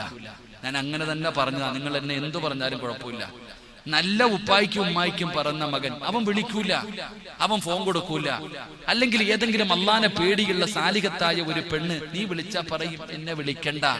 നല്ല ഉമ്മയാണോ? മരുമോൻ വിളിക്കും. വിവാഹം ഉറപ്പിച്ചവൻ വിളിക്കുമ്പോ കൊണ്ടുപോയിട്ട് വാപ്പാടെ കൊടുക്കും. സംസാരിച്ചോളാൻ. കൊണ്ട് വാപ്പാടെ കൈ കൊടുക്കും ഭർത്താവിന്റെ കൈ കൊടുക്കും മോളെ കൊടുക്കൂല. കാരണം അവൻ അന്യപുരുഷനാ. അവൾ ഫോണും വിളിക്കൂല ഒന്നും വിളിക്കൂല ഒന്നും സംസാരിക്കില്ല. എടാ ചെറുപ്പക്കാര ഏറ്റവും വലിയ ഭാഗ്യം. എടാ മോനെ വിവാഹം കഴിക്കുന്നത് എന്തിനാ? ചോദിക്കൂല ചെറുപ്പക്കാര്. ഉസ്താദ് എന്തിനാ ഉസ്താദെ പെണ്ണ് കെട്ടുന്നത് ഇങ്ങനെ സുഖിച്ച് നടക്കാമല്ലോ രാത്രി പന്ത്രണ്ട് മണിക്ക് വീട്ടിൽ കയറി ചെന്നാലും ചോദിക്കാനും പറയാനും ആരുമില്ല. എന്തിനാ ഉസ്താദ്? എടാ പെണ്ണ് കെട്ടുന്നത് എന്തിനെന്നറിയോ? ആദൻ നബി അലിഹിസലാം ആദൻ നബി അലിഹിസലാം അള്ളാഹു ആദൻ നബിയെ സൃഷ്ടിച്ചിട്ട് സ്വർഗത്തിൽ കയറ്റി വിട്ടു. സ്വർഗമല്ലേ നമ്മളൊക്കെ ആഗ്രഹിക്കുന്നത്? അള്ളാഹു നൽകുമാറാകട്ടെ. അള്ളാഹു നൽകുമാറാകട്ടെ. എന്തിനാ പെണ്ണ് കെട്ടണം? എല്ലാ ചെറുപ്പക്കാരുള്ള ചോദ്യവാ എന്തിനാ പെണ്ണ്? ഞാൻ മറുപടി പറയാം. ആദൻ നബി അലിഹിസ്ലാമിനെ അള്ളാഹു സൃഷ്ടിച്ചിട്ട് സ്വർഗത്തിൽ കയറ്റി വിട്ടു. ആദൻ നബി ഇങ്ങനെ നടക്ക സ്വർഗത്തിൽ കൂടെ. ആദൻ നബി ഇങ്ങനെ സ്വർഗത്തിൽ കൂടെ നടക്ക. അള്ളാഹു ചോദിച്ചു എന്തേ ആദവേ? നിനക്കൊരു സന്തോഷമില്ലാത്ത സ്വർഗത്തിൽ കൂടെ നടന്നിട്ട് നിനക്ക് എന്തേ സന്തോഷം ഇല്ലാത്ത നബി പറയാ അല്ല ഒറ്റയ്ക്ക് നടന്നു മടുത്തു പടച്ചാണ്. എന്താ പറഞ്ഞ മറുപടി? അള്ളാന്റെ സ്വർഗത്തിലൂടെ പാലരുവികളും തേനരുവികളും ഒഴുകുന്ന അള്ളാന്റെ സ്വർഗം ഞാൻ ഇബാദത്ത് ചെയ്യുന്നത് അവിടെ പോവാനാ. നമ്മുടെയൊക്കെ ജീവിതത്തിലെ ഏറ്റവും വലിയ മോഹം സ്വർഗത്തിൽ പോകണമെന്ന. എന്നാൽ ഈ സ്വർഗത്തിൽ കൂടെ ആദൻ നബി ഇങ്ങനെ നടക്കുമ്പോ അല്ല ചോദിച്ചു നിനക്ക് എന്തേ ഒരു ടെൻഷൻ ഒരു സന്തോഷം ഇല്ലാത്ത അല്ല ഒറ്റയ്ക്ക് നടന്നിട്ട് ഒരു സുഖമില്ല പടച്ചോനെ അള്ളാഹു ഹവ എന്ന് പറയുന്ന ഒരു പെണ്ണിനെ സൃഷ്ടിച്ചു കൊടുത്തു. അപ്പോഴാദൻ നബിക്ക് സന്തോഷം വന്ന്. മോനെ അള്ളാന്റെ ഖുർആൻ പറയുകയാ വിവാഹം കഴിച്ചാലേ സമാധാനം കിട്ടും. വിവാഹം കഴിച്ചാൽ സന്തോഷം കിട്ടും. അള്ളാഹു ഈമാൻ തരുമാറാകട്ടെ. ഉറക്കപ്പുറ അല്ല ഈമാൻ തരുമാറാകട്ടെ. വിവാഹം കഴിച്ചാൽ എന്ത് കിട്ടും? നിങ്ങളുടെ നാവ് കൊണ്ട് പറ എന്ത് കിട്ടും? പറ ഞാൻ പറഞ്ഞില്ല അല്ല പറഞ്ഞ എന്ത് കിട്ടും? സന്തോഷം സമാധാനം കിട്ടുമെന്ന് അള്ളാന്റെ വിശുദ്ധ ഖുർആൻ. അള്ളാഹു ഈമാൻ നിനക്കൊണ്ടോ ആ സാധനം? ഉസ്താദ് എന്നാണോ ഞാൻ പെണ്ണ് കെട്ടിയത്? അന്നത്തോടു കൂടി എന്റെ സമാധാനം പോയി. അപ്പൊ ഖുർആൻ പറഞ്ഞത് തെറ്റാണോ ശരിയാണോ? ഖുർആൻ പറഞ്ഞത് ശരിയാ. പക്ഷെ തെറ്റുപറ്റിയത് ആർക്കാ? നിനക്ക്. നീ കെട്ടുന്നതിന് മുമ്പേ വഴുതു പറയാൻ തുടങ്ങിയില്ലേ? പിന്നെ എങ്ങനെ സന്തോഷം കിട്ടും? നീ കെട്ടുന്നതിന് മുമ്പേ നിന്റെ അടിവസ്ത്രത്തിന്റെ അളവ് വെച്ച് നിന്റെ പെണ്ണ് പറഞ്ഞു തരും കല്യാണം കഴിക്കുന്നതിന് മുമ്പ് ഓൾ പറഞ്ഞു തരും നീ അതുവരെ വഴുതു പറഞ്ഞില്ലേ? പിന്നെ നീ കെട്ടിയിട്ട് എന്താ നേരെ ബെഡ്റൂമിൽ കയറിയാ മതി. അതുകൊണ്ട് എടാ ചെറുപ്പക്കാരെ ഏറ്റവും വലിയ ഭാഗ്യം എന്തെന്നറിയോ? എടാ ഒരു അള്ളാനെ പേടിയുള്ള ഒരു പെണ്ണിനെ കിട്ടിയ അവളെ ഫോൺ വിളിക്കാൻ കിട്ടൂല. കറങ്ങാൻ കിട്ടൂല. നിക്കാഹ് കഴിക്കുന്നത് വരെ ഒന്നും ഉണ്ടാകില്ല. കഴിച്ചാൽ തന്നെ അന്നേ പറ്റൂ. നിക്കാഹ് കഴിയുന്നതിന്റെ അന്നത്തെ രാത്രി അവളെ കാണാൻ തന്നെ കിട്ടണേ. എന്റെ പ്രിയപ്പെട്ടവർ അങ്ങനെ നിക്കാഹ് കഴിഞ്ഞു. രാത്രി മണിയറയ്ക്കകത്ത് നീ നിന്റെ കൂട്ടുകാരുടെ കൂടെ കറക്കമെല്ലാം കഴിഞ്ഞ് അവസാനം കയറി ചെല്ലുമ്പോ അവൾ ചോദിക്കും ഇക്ക കറക്കൊക്കെ തീർന്നോ? ഇക്കാടെ ആഘോഷമൊക്കെ തീർന്നോ? തീർന്നു മോളെ. എന്നാ പോയി ഒളിവെടുത്തിട്ട് വാ. സാലികത്തായ ഒരു പെണ്ണാണെങ്കിൽ ഓൾ പറയും ഇക്ക പോയി ഒളിവെടുത്തിട്ട് വാ. അങ്ങനെ പോയി ഒതുവ് എടുത്തിട്ട് വാ. നിങ്ങൾ പോയിട്ട് വരി. അങ്ങനെ പോയി ഒതുവെടുത്തിട്ട് അടുത്ത് വരുമ്പോ അവൾ ചോദിക്കുക അള്ളാഹു എന്നെ പോലെ ഒരു നല്ല പെണ്ണിനെ അല്ല നിങ്ങൾക്ക് തന്നില്ലേ? നിങ്ങളെ പോലെ ഒരു നല്ല ഭർത്താവിനെ അല്ല എനിക്ക് തന്നില്ലേ? അതിന് നന്ദി കാണിക്കണം. അതിന് നന്ദി രേഖപ്പെടുത്തണം. നന്ദി രേഖപ്പെടുത്തണം. എന്നാ കയറി രണ്ടരക്കായത്ത് നിസ്കരിക്ക്. ശുക്റിന്റെ നിസ്കാരം. അള്ളാന് നന്ദി രേഖപ്പെടുത്തി രണ്ടരക്കായത്ത് നിസ്കരിക്കും. നിസ്കാരം കഴിഞ്ഞ ഭാര്യയും ഭർത്താവും കൂടെ മണിയറയ്ക്കകത്തിരുന്ന് നിസ്കരിച്ചു. നിസ്കാരം കഴിഞ്ഞ് സലാം വീട്ടിയപ്പോ പെണ്ണ് പുറകെ ഇരുന്നിട്ട് ചോദിക്ക ഇക്ക ജീവിതത്തിൽ ഒരുപാട് പാപ ഇക്ക ചെയ്തിട്ടില്ലേ? ഞാനും ചെയ്തിട്ടുണ്ട്. ഈ ചെയ്തത് മുഴുവനും ഇന്ന് മുതൽ നമ്മൾ പുതിയ ജീവിതം തുടങ്ങുകയാ. ഇക്ക ഇവിടെ ഇരുന്ന് തൗപ ചെയ്യേ. ഞാൻ ആമീൻ പറയാം. ഭർത്താവ് നല്ല പെണ്ണാണെങ്കിൽ ഭർത്താവിനോട് പറയും ഇക്ക ഇവിടെ ഇരുന്ന് ഇക്ക മണിയർ രഹസ്യം പഴയ രഹസ്യം ഒന്നും പറയണ്ട. ഇവിടെ ഇരുന്നിട്ട് തൗപ ചെയ്യണം. ഞാൻ ആമീൻ പറയും. ദ്വാ ചെയ്യുമ്പോ എന്റെ പാപം കൂടെ അള്ളാഹു പൊറുക്കാൻ ദ്വാ ചെയ്യും അങ്ങനെ പുതിയ പഴയ മണിയറയ്ക്കൊക്കെ തിരുത്തി ദ്വാ ചെയ്യിപ്പിക്കും തൗപ ചെയ്യിപ്പിക്കും. തൗബ ചെയ്ത് കഴിഞ്ഞു.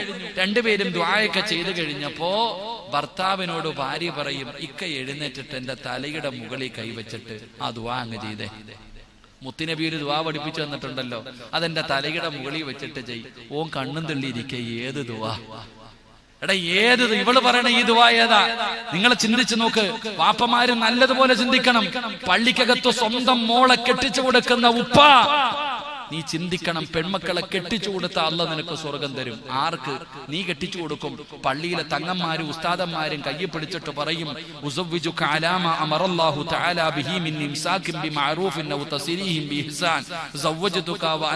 എന്ന് പറയുമ്പോ കടന്നിട്ട് നാക്കിവന് പറയാൻ പോലും അറിയാത്തവനാ നീ നിന്റെ മോനെ കെട്ടിച്ചു കൊടുക്കണേ. എടാ നിങ്ങൾ ചിന്തിക്ക്. കോമഡി ഏറ്റവും വലിയ കോമഡി തമാശ നമുക്ക് ചിരി വരും ഉസ്താദന്മാർക്കൊക്കെ. ഓരോ മനുഷ്യന്റെ കയ്യിൽ പിടിച്ചിട്ട് ഉസ്താദ് പറയും ഓൻ കിടന്നിട്ട് എന്തോ മുട്ട പുഴുങ്ങിയ മുട്ട വായിലിട്ടിട്ട് പ്രയാസപ്പെടാ ചൂട് മുട്ട തിന്നിട്ട്. അതുപോലും പറയാൻ അറിയാത്തവനാ നീ മോനെ കെട്ടിച്ചു കൊടുക്കണേ. ഓ എന്റെ പറവയെ പോലുള്ള കുറച്ച് മുടിയും കീറി പറഞ്ഞ ഒരു പാന്റും എന്താ ചങ്ങാതി?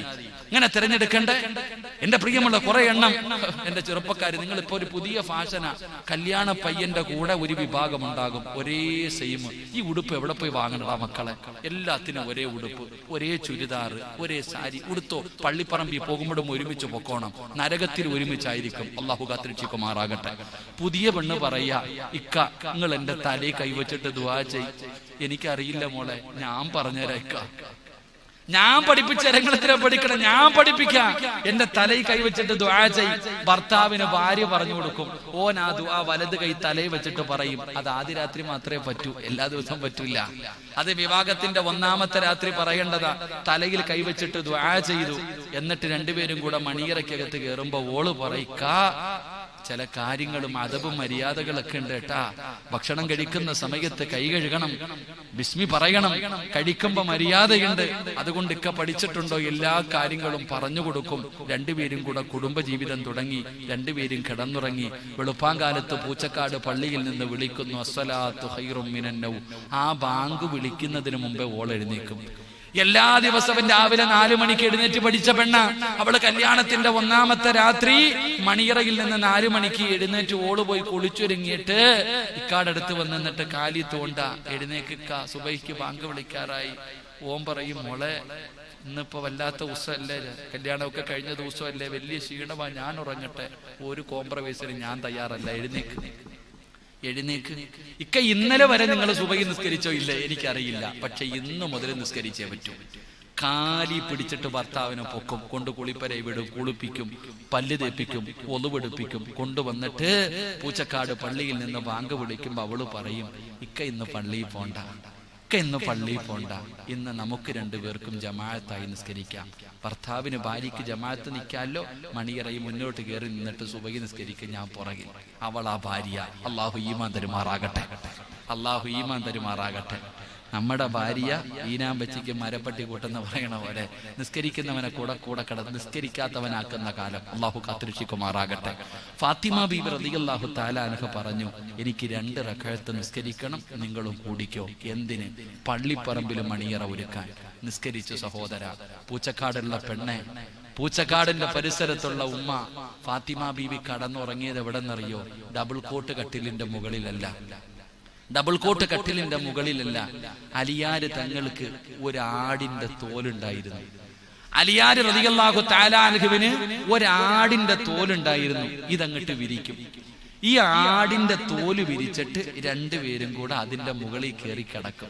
ആടിന്റെ തോലിന്റെ വലിപ്പം നീ ചിന്തിച്ചാൽ മതി. എത്ര വലിയ ആടാണെങ്കിലും എത്ര ഉണ്ട് ഈ ആടിന്റെ തോലെടുത്തിട്ട് വിരിച്ചിട്ട് ഇവർ രണ്ടുപേരും കൂടെ അതിനകത്ത് കിടന്ന് സുഖമായിട്ട് ഉറങ്ങി. രാവിലെ എഴുന്നേറ്റ ഈ ആടിന്റെ തോൽ കൊണ്ടുപോയിട്ട് അലിയാരി തങ്ങൾക്കൊരു കുതിരയുണ്ട് അതിന്റെ മുന്നിൽ കൊണ്ട് വിരിച്ചിട്ട് തീറ്റി വാരിയിട്ട് കൊടുക്കും അതിനകത്ത്. രാത്രി കിടക്കാൻ വിരിക്കുന്നത് ഈ ഈ ആടിന്റെ തോൽ പകൽ തന്റെ വീട്ടിലെ കുതിരയ്ക്ക് തീറ്റി കൊടുക്കണത് ഇതിന്റെ മുകളിലാണ് രാവിലെ മൊത്തം ജോലി അതാ. കൊണ്ടുപോയി വിരിച്ചിട്ട് അതിനകത്താ തീറ്റി ഇട്ട് കൊടുക്കണത്. എന്റെ പ്രിയപ്പെട്ട പെങ്ങളെ നീ ചിന്തിക്ക് ഇതിനാ മോളെ ജീവിതം. ഇതിനാ ജീവിതം എന്ന് പറയുന്നത് അള്ളാഹുവിന്റെ പ്രവാചകൻ സല്ലല്ലാഹു അലഹി വസല്ലമ തങ്ങൾ കല്യാണം കഴിച്ചു വിട്ട മോളെ കാണാൻ ഒരു ദിവസം വീട്ടിൽ പോയി. കല്യാണം കഴിച്ചു വിട്ട ശേഷം തന്റെ പൊന്നാര മകളെ കാണാൻ അലിയാര് തങ്ങളുടെ വീട്ടിലേക്ക് കടന്നു ചെന്നപ്പോ വാപ്പാനെ കണ്ടതും ഫാത്തിമ ബീവി ഓടി വന്നു. കരഞ്ഞോണ്ട് ഓടി വന്നിട്ട് കെട്ടിപ്പിടിച്ചിട്ട് കരയ. ഫാത്തിമ ബീബി റളിയല്ലാഹു താലാർഹ കരയ്യ എന്തേ മോളെ കരയണേ? എന്തേ ഫാത്തിമ കരയണേ? ഉപ്പ ഭക്ഷണം കഴിച്ചിട്ട് മൂന്ന് ദിവസമായി വാപ്പ കെട്ടിച്ചു വിട്ട പൊന്നുമോൾ വാപ്പാനോട് കരഞ്ഞുകൊണ്ട് പറയാ ഉപ്പാ ഏതുപ്പ? കരളിന്റെ കഷ്ടത്വാന്ന് മുത്തുനബി പറഞ്ഞ പൊന്നുമോൾ പറയാ ഉപ്പ വല്ലതും തിന്നിട്ട് മൂന്ന് ദിവസമായി വാപ്പ വാപ്പാടെ മോൾ പട്ടിണിയ പരാതി പറഞ്ഞപ്പോ മുത്തുനബി ഫാത്തിമ ബീവിയോട് പറഞ്ഞു ഫാത്തിമ ഞാൻ വല്ലതും കഴിച്ചിട്ട് നാല് ദിവസമായി മോളെ. വലിയ അബീക്ക് അറിവും ഉപ്പ വല്ലതും തിന്നിട്ട് നാല് ദിവസമായി. ഉടനെ ഫാത്തിമ ബീവി റലിയ എന്താ പടച്ചൊരു ഉപ്പാനോട് പറഞ്ഞു പോയല്ലോ എന്റെ ഉപ്പാനോട് പറഞ്ഞു പോയല്ലോ. ഫാത്തിമ ബീബി അള്ളാഹു താലാനഹയോട് പറഞ്ഞു ക്ഷമിക്കും മോളെ അള്ളാഹു നിനക്കൊരു സന്തോഷം തരും. അള്ളാന്റെ റസൂൽ സല്ലാ അലൈഹി വസല്ലമ തങ്ങൾ അവിടെ നിന്ന് പിരിഞ്ഞുപോയി അള്ളാന്റെ റസൂലിന്റെ പൊന്നുമോൾ. കാരണം ഷീബു അബി താലിബ് എന്ന് പറയുന്ന മലഞ്ചെരുവിൽ വാപ്പായും ഉമ്മായും പച്ചില തിന്നിട്ട് സ്നേഹിക്കുന്നത് കണ്ടു വളർന്ന മോളാ. പച്ചില പറിച്ച് കഴിച്ചിട്ട് സ്നേഹിച്ച് ജീവിക്കുന്ന കണ്ട ഫാത്തിമ. അള്ളാഹുവേ പടച്ചവനെ അവിടെ നിന്ന് പട്ടിണിയാണ്. കഴിക്കാൻ ഭക്ഷണമില്ലാതെ ഫാത്തിമ ബീവിറതിയല്ലാഹു താരാറുക പട്ടിണി കിടന്നിട്ട് തന്റെ മാറിടത്തിലൂടെ രക്തമിങ്ങനെ ഒലിക്കുകയാണ്. അള്ളാഹുവേ. അവരുടെ ജീവിതം വല്ലാത്ത ജീവിതമായിരുന്നു. എന്നാലും പരസ്പരം അവർ തമ്മിത്തല്ലാറില്ല അവർക്ക് രണ്ടുപേർക്കും ഒരു പ്രയാസവുമില്ല. എന്റെ പ്രിയപ്പെട്ട പെങ്ങൾ അലിയാരിതങ്ങൾ പടച്ചവനെ വിശപ്പ് സഹിക്കാൻ കഴിയാതെ എന്തെങ്കിലും ജോലി തേടിയിട്ട് നടക്കുകയാണ്.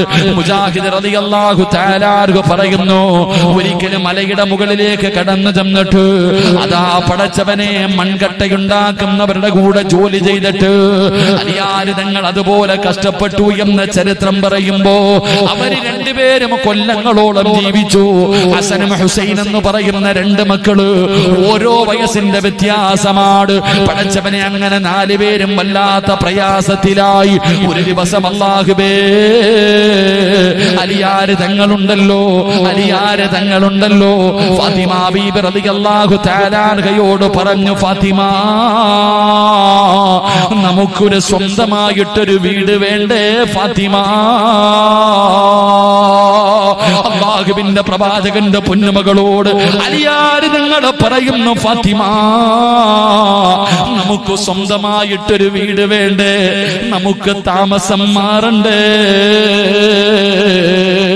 അലിയാര് ഫാത്തിമയോട് പറയുമ്പോ ഫാത്തിമ ബീബി പറഞ്ഞു അലിയേ എനിക്കും ആഗ്രഹമുണ്ട് എനിക്കും ആഗ്രഹമുണ്ട്.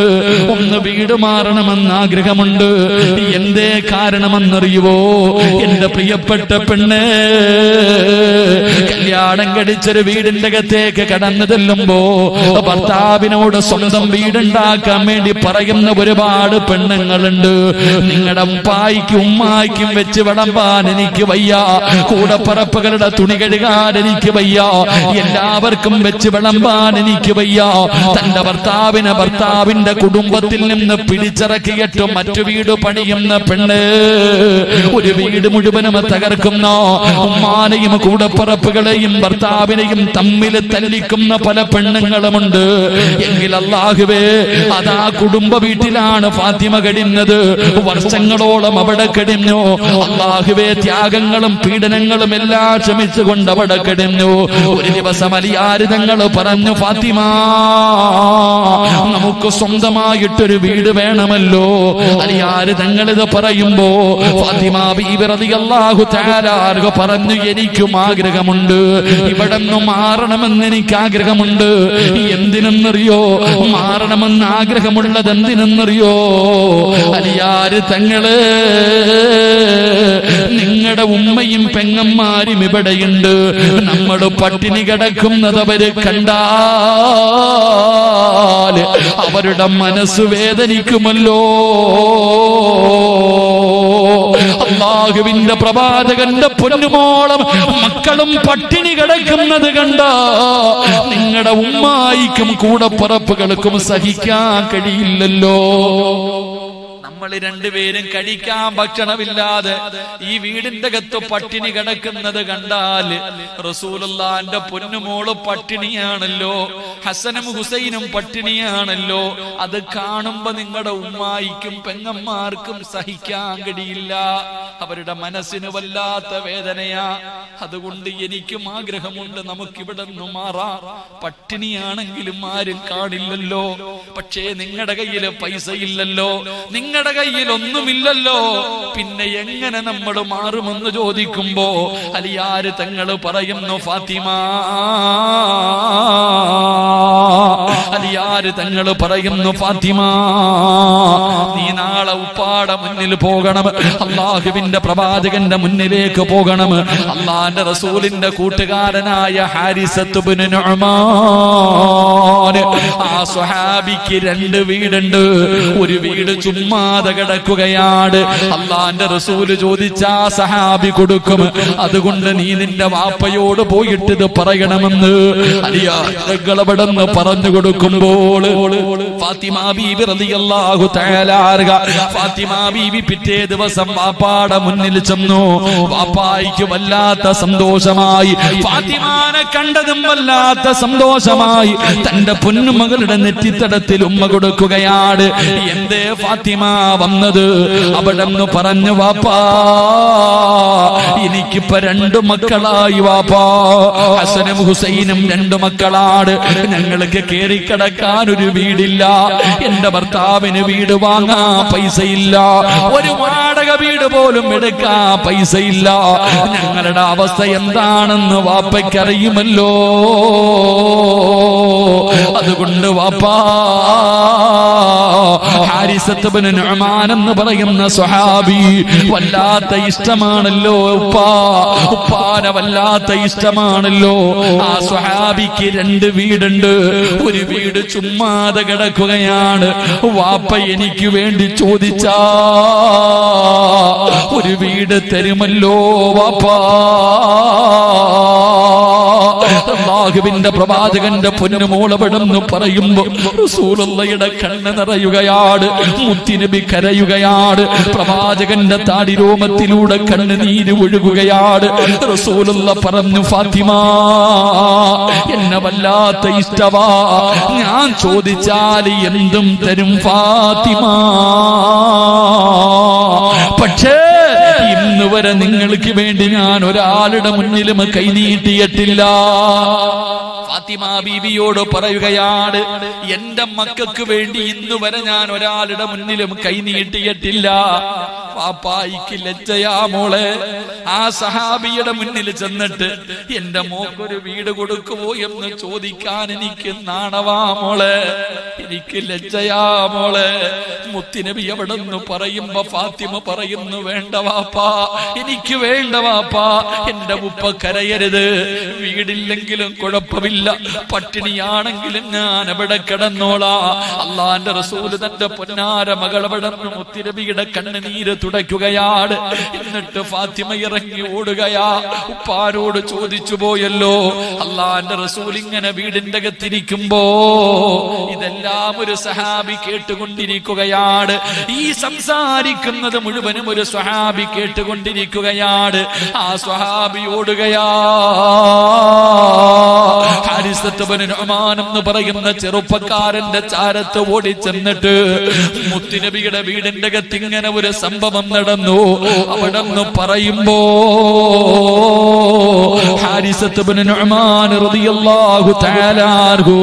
ഇലാ റസൂലില്ലാഹ് അള്ളാഹുവിന്റെ പ്രവാചകന്റെ ചാരത്തേക്ക് ഓടുകയാ. മുത്തുനബിയുടെ ചാരത്തേക്ക് ഓടി വന്നിട്ട് മാഹത്തുമിൻ അഹബു ഇലയ്യ. വീടിന്റെ താക്കോൽ കൊണ്ടുവന്ന് കൊടുത്തിട്ട് പറയുന്നു നബിയേ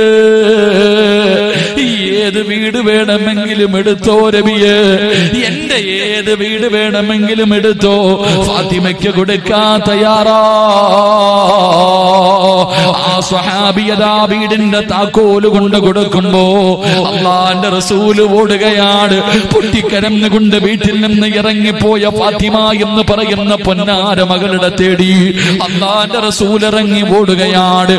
ഓടിച്ചെന്നിട്ട് പറഞ്ഞു ഫാത്തിമ ഇതാ മോളെ വീട് ഇതാ മോളെ വീട്.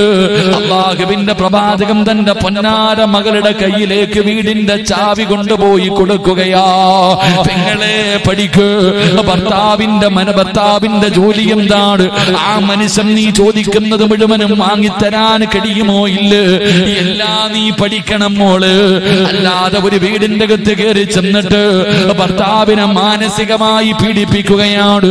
എന്നിട്ട് വീട് വെക്കാൻ പ്രേരിപ്പിക്കുകയാണ്. ഇല്ലെന്ന് പറഞ്ഞാൽ ലോൺ എടുപ്പിക്കുകയാ. പലിശക്കെടുത്തിട്ട് തന്നെ സ്വന്തം വീട് വെക്കാൻ പരിശ്രമിക്കുന്ന പെണ്ണ്. ഈ ഫാത്തിമാനെ കണ്ടുപഠിക്ക് ഈ ഫാത്തിമ ബീവിയുടെ ജീവിതം കണ്ടുപഠിക്ക് അള്ളാഹുവിന്റെ പ്രവാചകൻ അവിടെ നിന്ന് വീടിന്റെ താക്കോൽ കൊടുത്തു. ആ വീടിന്റെ കത്താണെങ്കിൽ സുബഹാനല്ലോ. വീടല്ലാതെ മറ്റൊരു വസ്തുവില്ല. അങ്ങനെ ഫാത്തിമ ബീബി റളിയല്ലാഹു തആല അലിയാർ തങ്ങളും ഹസനും ഹുസൈനും കൂടെ പുതിയ വീടിന്റെ അകത്തേക്ക് താമസം കയറുകയാണ് മുത്തിനബി വാങ്ങിക്കൊടുത്തത് എന്തെന്നറിയോ കടക്കാനൊരു കട്ടിൽ വിരിക്കാനൊരു വിരിപ്പ് ചില പാത്രങ്ങൾ പടച്ചവനെ ഒരു ആട്ടുകല്ല് അങ്ങനെ കയ്യിലെണ്ണാവുന്ന ആറോ ഏഴോ സാധനങ്ങളാണ് മുത്തിനബി വാങ്ങിക്കൊടുത്തത്. പടച്ചവര് ഫാത്തിമ ബീവിക്ക് വല്ലാത്ത സന്തോഷമായി. ഫാത്തിമ ബീവിക്ക് വല്ലാത്ത സന്തോഷമായി. പടച്ചവനെ രണ്ടുപേരും അവിടെയാണ് ജീവിച്ചത്. രണ്ടുപേരും അവിടെയാണ് വർഷങ്ങളോളം ജീവിച്ചത്.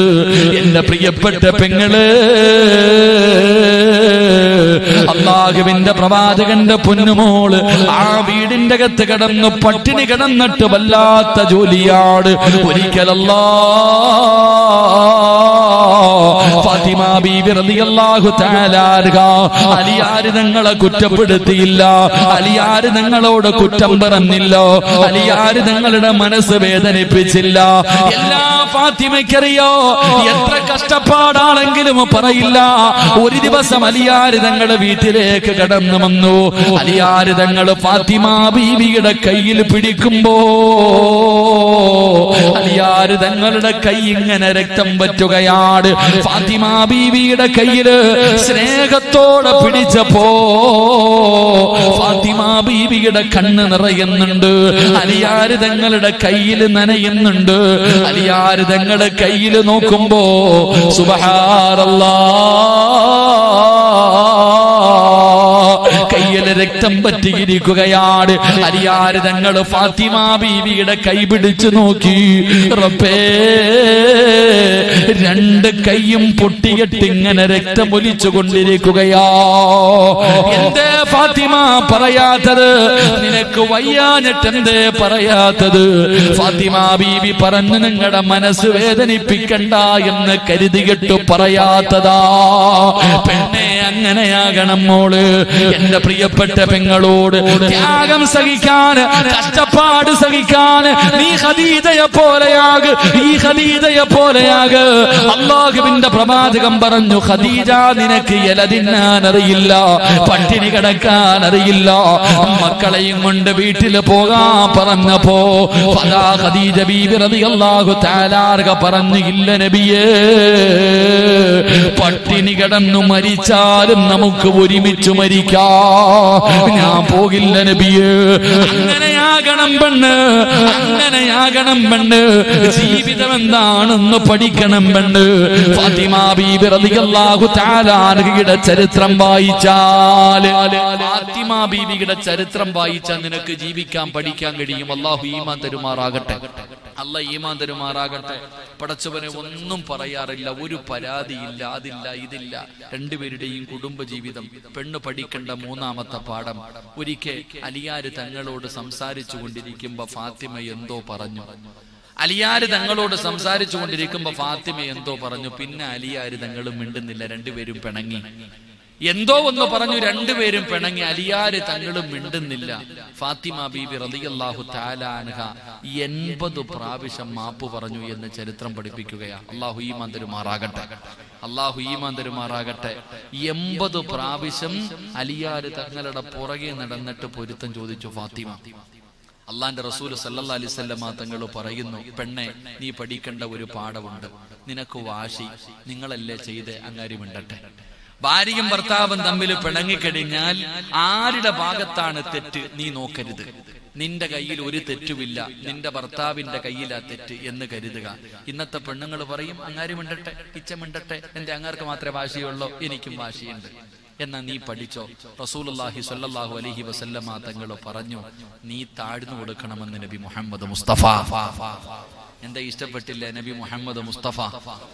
സല്ലല്ലാഹു അലഹി വസല്ലമ തങ്ങൾ പറഞ്ഞു പെണ്ണെ നീ ഒന്ന് താഴ്ന്നു കൊടുക്കണം. നീ നിന്റെ ഭർത്താവിന്റെ മുന്നിൽ പോകണം. അദ്ദേഹം മിണ്ടുന്നത് വരെ നീ പട്ടിണി കിടക്കണം.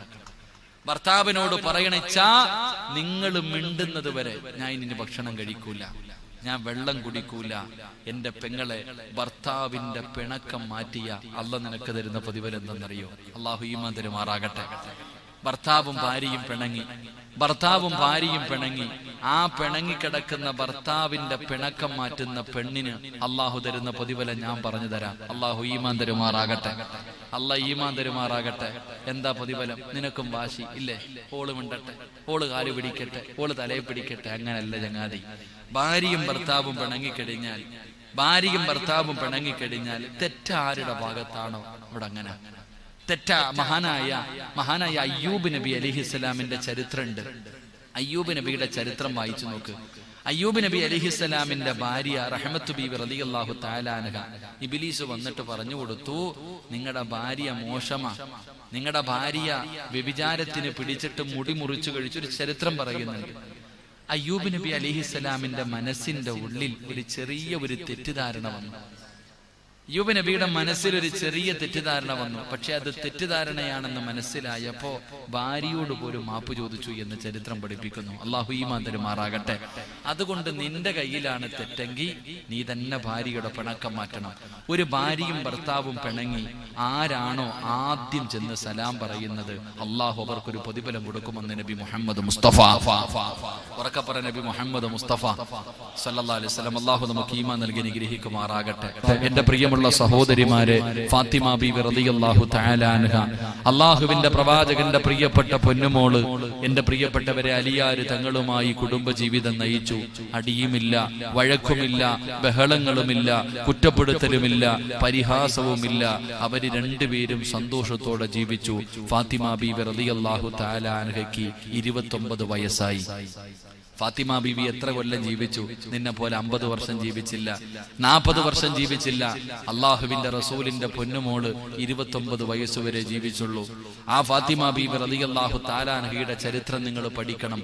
ഫാത്തിമ ബീബി അള്ളാഹു താലാനഹ അലിയാര് തങ്ങളുമായി വളരെ സന്തോഷത്തോടു കൂടി ജീവിക്കുമ്പോഴാണ് അള്ളാഹുവിന്റെ റസൂലിന് സുഖമില്ലാതായത്. മുത്തുനബി സല്ലാഹു അലഹി വസല്ലമ തങ്ങൾക്ക് രോഗം പിടിച്ചു. പ്രവാചകന് രോഗം പിടിച്ചു വല്ലാത്ത പ്രയാസത്തിൽ കിടക്കുമ്പോ അലിയാര് തങ്ങളുടെ കയ്യിൽ പിടിച്ചിട്ട് ചോദിച്ചു ഞാൻ എന്റെ ഉപ്പാടെ വീട്ടിൽ പോട്ടെ? ഞാൻ എന്റെ ഉപ്പാടെ വീട്ടിൽ പോട്ടെ? എന്റെ ഉപ്പ രോഗിയായി കിടക്കുകയാ. എന്റെ ഉപ്പാനെ എനിക്ക് ചികിത്സിക്കണം. എന്റെ ഉപ്പായ്ക്ക് പോയി ഹിദമത്ത് ചെയ്യണം. ഫാത്തിമ ബീബർ അലി അള്ളാഹു താലാനഹ ഭർത്താവിനോട് അനുവാദം ചോദിച്ചിട്ട് രോഗിയായി കിടക്കുന്ന വാപ്പാടെ ചാരത്ത് പോയി. നീ നിന്നെ കുറിച്ച് ചിന്തിക്ക്. നിന്നെ ഇത്രയും കാലം പോറ്റി വളർത്തി. നല്ലതുപോലെ കഷ്ടപ്പെട്ട് നിനക്കൊരു വിവാഹ ജീവിതം ഉണ്ടാക്കി തന്ന നിന്റെ വാപ്പ രോഗം പിടിച്ച് കിടക്കുന്നു. ഉമ്മ രോഗം പിടിച്ച് കിടക്കുന്നു. അവരെ ഒന്ന് നോക്കാൻ വേണ്ടി നീ വിളിച്ച. നിന്നെ വിളിച്ച നീ പറയും മക്കൾക്ക് ട്യൂഷൻ ഉണ്ട് മക്കൾക്ക് മദ്രസയിൽ പോകണം മക്കൾക്ക് സ്കൂളിൽ പോകണം. നീ പോകാറുണ്ടോ? വാപ്പ രോഗം പിടിച്ച് കിടന്നപ്പോ എന്റെ പ്രിയപ്പെട്ട പെങ്ങന്മാരെ മാതാ വാപ്പായിക്ക് ഏറ്റവും ഇഷ്ടം നിന്നോടാ. എന്റെ പ്രിയപ്പെട്ടവര് മനസ്സിലാക്കണം പെൺകുട്ടികൾക്ക് വാപ്പാനെ വല്ലാത്ത ഇഷ്ടമാ. വാപ്പമാരെ വല്ലാത്ത ഇഷ്ടമ. അള്ളാഹുവിന്റെ റസൂര് സുഖമില്ലാതെ കടന്നപ്പോ ഫാത്തിമ പോയിട്ട് ഭർത്താവിനോട് ചോദിച്ചു ഞാൻ പൊക്കോട്ടെ എന്റെ ഉപ്പാൻ എനിക്ക് നോക്കണം എന്റെ ഉപ്പാനെ എനിക്ക് നോക്കണം. എന്റെ പ്രിയമുള്ളവരെ ഫാത്തിമ ബി റലി അള്ളാഹു താലാൻഹ അള്ളാഹുവിന്റെ പ്രവാചകൻ സല്ലാഹു അലൈഹി വസല്ലമ തങ്ങളുടെ ചാരത്ത് വന്നു. പ്രവാചകന് വെള്ളമെടുത്തു കൊടുത്തു കൈകാലുകൾ നെക്കിക്കൊടുത്തു അള്ളാഹുവിന്റെ റസൂര് സല്ലാ അലൈഹി വസല്ലമ തങ്ങൾ രോഗം പിടിച്ചിട്ട് വല്ലാത്തൊരവസ്ഥയിൽ പ്രവാചകന് രോഗം കൂടിയിട്ട് ഇങ്ങനെ കിടക്കുമ്പോ ഫാത്തിമ ബീബി അള്ളാഹു താലാനഹ അള്ളാഹുവിന്റെ പ്രവാചകന്റെ കൈകാലുകൾ ഇങ്ങനെ നെക്കിക്കൊടുക്കുമ്പോ റസൂലുള്ളാഹി തങ്ങൾ പറഞ്ഞു ഫാത്തിമ മോളെ ഫാത്തിമ വാപ്പ ഒരു കാര്യം പറയാം. എന്റെ പൊന്നുമോൾ വിഷമിക്കരുത്. എന്റെ പൊന്നുമോൾ വിഷമിക്കരുത്. അള്ളാഹുവിന്റെ റസൂൽ സല്ലാഹു അലഹി വസല്ലമ തങ്ങൾ ഫാത്തിമ എന്ന് പറയുന്ന പൊന്നുമകളോട് പറഞ്ഞു മോളെ വാപ്പായിക്ക് വാപ്പയുടെ മരണം അടുത്തു ഉപ്പാന്റെ മരണമെടുത്തു. ചില അടയാളങ്ങളൊക്കെ ഞാൻ കണ്ടു ഫാത്തിമ. എല്ലാ വർഷവും റമദാനിന് ഒരു പ്രാവശ്യം ജിബിരീൽ അലിഹിസ്സലാമിന് ഖുർആൻ മുഴുവനും ഓതി കേൾപ്പിക്കണം. പക്ഷെ ഈ പ്രാവശ്യം രണ്ടു പ്രാവശ്യം വാപ്പ ഓതി കേൾപ്പിച്ചു. റമലാ മാസത്തിൽ രണ്ട് ഹത്തം ഞാൻ തീർത്തു. എന്റെ മരണമെടുത്തു. അതിന്റെ അടയാളങ്ങളൊക്കെ ഞാൻ കണ്ടു. അള്ളാഹുവിന്റെ പ്രവാചകൻ സല്ലല്ലാഹു അലഹി വസല്ലമ തങ്ങൾ തന്റെ പൊന്നാര മകളോട് പറഞ്ഞപ്പോ ഫാത്തിമ ബീബി റലി അള്ളാഹു താലാനഹ കൈ പിടിച്ചിട്ട് ചോദിച്ചു വാപ്പ എനിക്കിനി ആരാ ഉള്ളേ? അള്ളാന്റെ റസൂലിന്റെ പൊന്നുമോൾ പ്രവാചകൻ പറഞ്ഞു മോളെ എന്റെ മരണം അടുത്തു എന്ന് ചോദിച്ചപ്പോ ഫാത്തിമ എന്ന് പറയുന്ന പൊന്നുമോൾ ഉപ്പാനോട് ചോദിക്ക ഉപ്പ എന്റെ ഉമ്മ പോയി. എന്റെ ഉമ്മ എന്റെ ചെറുപ്പത്തിലെ പോയി. എന്റെ താത്താമാര് പോയി. എന്റെ അനുജന്മാര് പോയി. ഉപ്പ ഇനി നിങ്ങളും കൂടെ പോയാ ഇനി എനിക്ക് ആരുണ്ട് ഫാത്തിമ ബീബി റലിയല്ലാഹു താലാനക മക്കളുള്ള അലിയാര് തങ്ങളുള്ള ഫാത്തിമ ബീവിക്ക് മക്കളുണ്ട്. ഫാത്തിമ ബീവിക്ക് മക്കളുണ്ട്. അലിയാര് തങ്ങൾ എന്ന ഭർത്താവുണ്ട്. എന്നിട്ടും ഫാത്തിമ എന്ന് പറയുന്ന പൊന്നുമോൾ കെട്ടിച്ചു വിട്ട പൊന്നുമോൾ വാപ്പ മരിക്കാൻ പോകുകയാ എന്ന് പറഞ്ഞപ്പോ ചോദിച്ചു ഉപ്പ എന്റെ ഉമ്മ പോയി. എന്റെ സഹോദരങ്ങളും സഹോദരിമാരും കരയണ്ട. മോൾ കരയണ്ട. എന്റെ പൊന്നുമോൾ കരയണ്ട. ഉപ്പ പോയ തൊട്ടു പുറകിൽ നീയുണ്ട് മോളെ.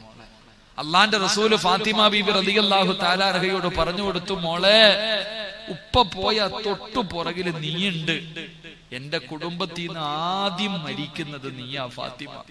ഫാത്തിമ ബീബർ അലി അള്ളാഹു താലാരഹ ചരിത്രം പറയാ ചിരിച്ചുകൊണ്ട് കെട്ടിപ്പിടിച്ച് മുത്തം കൊടുത്തത്. ഇരുപത്തൊമ്പത് വയസ്സേ ഉള്ളൂ പെണ്ണെ. ഇരുപത്തൊമ്പത് വയസ്സുള്ള അഞ്ച് മക്കളുടെ ഉമ്മയായ ഫാത്തിമ ബീബി റളിയല്ലാഹു താലാനഹ ഭർത്താവുണ്ട് മക്കളുണ്ട് എല്ലാരും ഉണ്ട്. നിനക്ക് അമ്പത് അറുപത് വായി നിനക്ക് ഇപ്പോഴും പേടി. ഇരുപത്തൊമ്പത് വയസ്സുള്ള ഫാത്തിമ എന്ന് പറയുന്ന പൊന്നു മോളോട് പറഞ്ഞു ഈ കൊല്ലം തന്നെ നീ മരിക്കും ഫാത്തിമ. ഈ വർഷം തന്നെ നീ മരിക്കുമെന്ന് പറഞ്ഞപ്പോ ഫാത്തിമ ബീബി കെട്ടിപ്പിടിച്ചിട്ട് ഉപ്പാന് ചുംബനം കൊടുക്ക. എന്റെ ഉപ്പയില്ലാത്ത ദുനിയാവ് എനിക്ക് വേണ്ട. അതാ സ്നേഹം. അതാ സ്നേഹം. ഫാത്തിമ പറയ എന്റെ വാപ്പ ഇല്ലെങ്കിൽ എനിക്കിനി വേണ്ട. എന്റെ ഉപ്പയില്ലാത്ത ദുനിയാവ് എനിക്ക് വേണ്ട. ഫാത്തിമ ബീബി റളിയല്ലാഹു താലാരക പൊട്ടിക്കരഞ്ഞ അവിടെ നിന്ന് പടച്ചവനെ ആയിഷ ബീബി റളിയല്ലാഹു തആലാനഹ ചോദിച്ചു നീ എന്തിനാ ഫാത്തിമ ചിരിച്ചേ? ഞാൻ പറയൂല എന്റെ ഉപ്പ പറഞ്ഞ രഹസ്യമാ. എന്റെ ഉപ്പ പറഞ്ഞ രഹസ്യവ. എന്റെ പ്രിയപ്പെട്ട പെങ്ങളെ ഇന്ന് ഫെബ്രുവരി ഇരുപത്തി ഒമ്പത് ഇരുപത്തി ഒമ്പത് വയസ്സുള്ള ഫാത്തിമ ബീബി റളിയല്ലാഹു താലാനക നീ പഠിക്കണം ഫാത്തിമയെ കുറിച്ച് ഇരുപത്തൊമ്പത് കൊല്ലമേ ജീവിച്ചുള്ളൂ പെണ്ണെ. ആ പെണ്ണാണ് നാളെ സ്വർഗത്തിൽ നിന്റെ മുന്നിൽ നിൽക്കുന്നത്. ആ ഫാത്തിമ ബീവിയുടെ പുറകിൽ നിന്നാ നീ സ്വർഗത്തിൽ പോകേണ്ടത്. ഫാത്തിമ ബീബി റളിയല്ലാഹു താലാനക അവസാനം പടച്ചവനെ സക്കറാത്തിന്റെ അവസ്ഥയിൽ ഇരുപത്തി ഒമ്പതാമത്തെ വയസ്സിൽ എന്റെ പ്രിയപ്പെട്ട പെങ്ങളെ നീ പഠിക്കണം. റസൂലുള്ളാഹി സ്വല്ലല്ലാഹു അലൈഹി വസല്ലമ തങ്ങൾ വഫാത്തായി. മുത്തുനബി വഫാത്തായി. ഞാൻ പറയുന്നില്ല നിങ്ങൾക്ക് ചരിത്രം അറിയാം.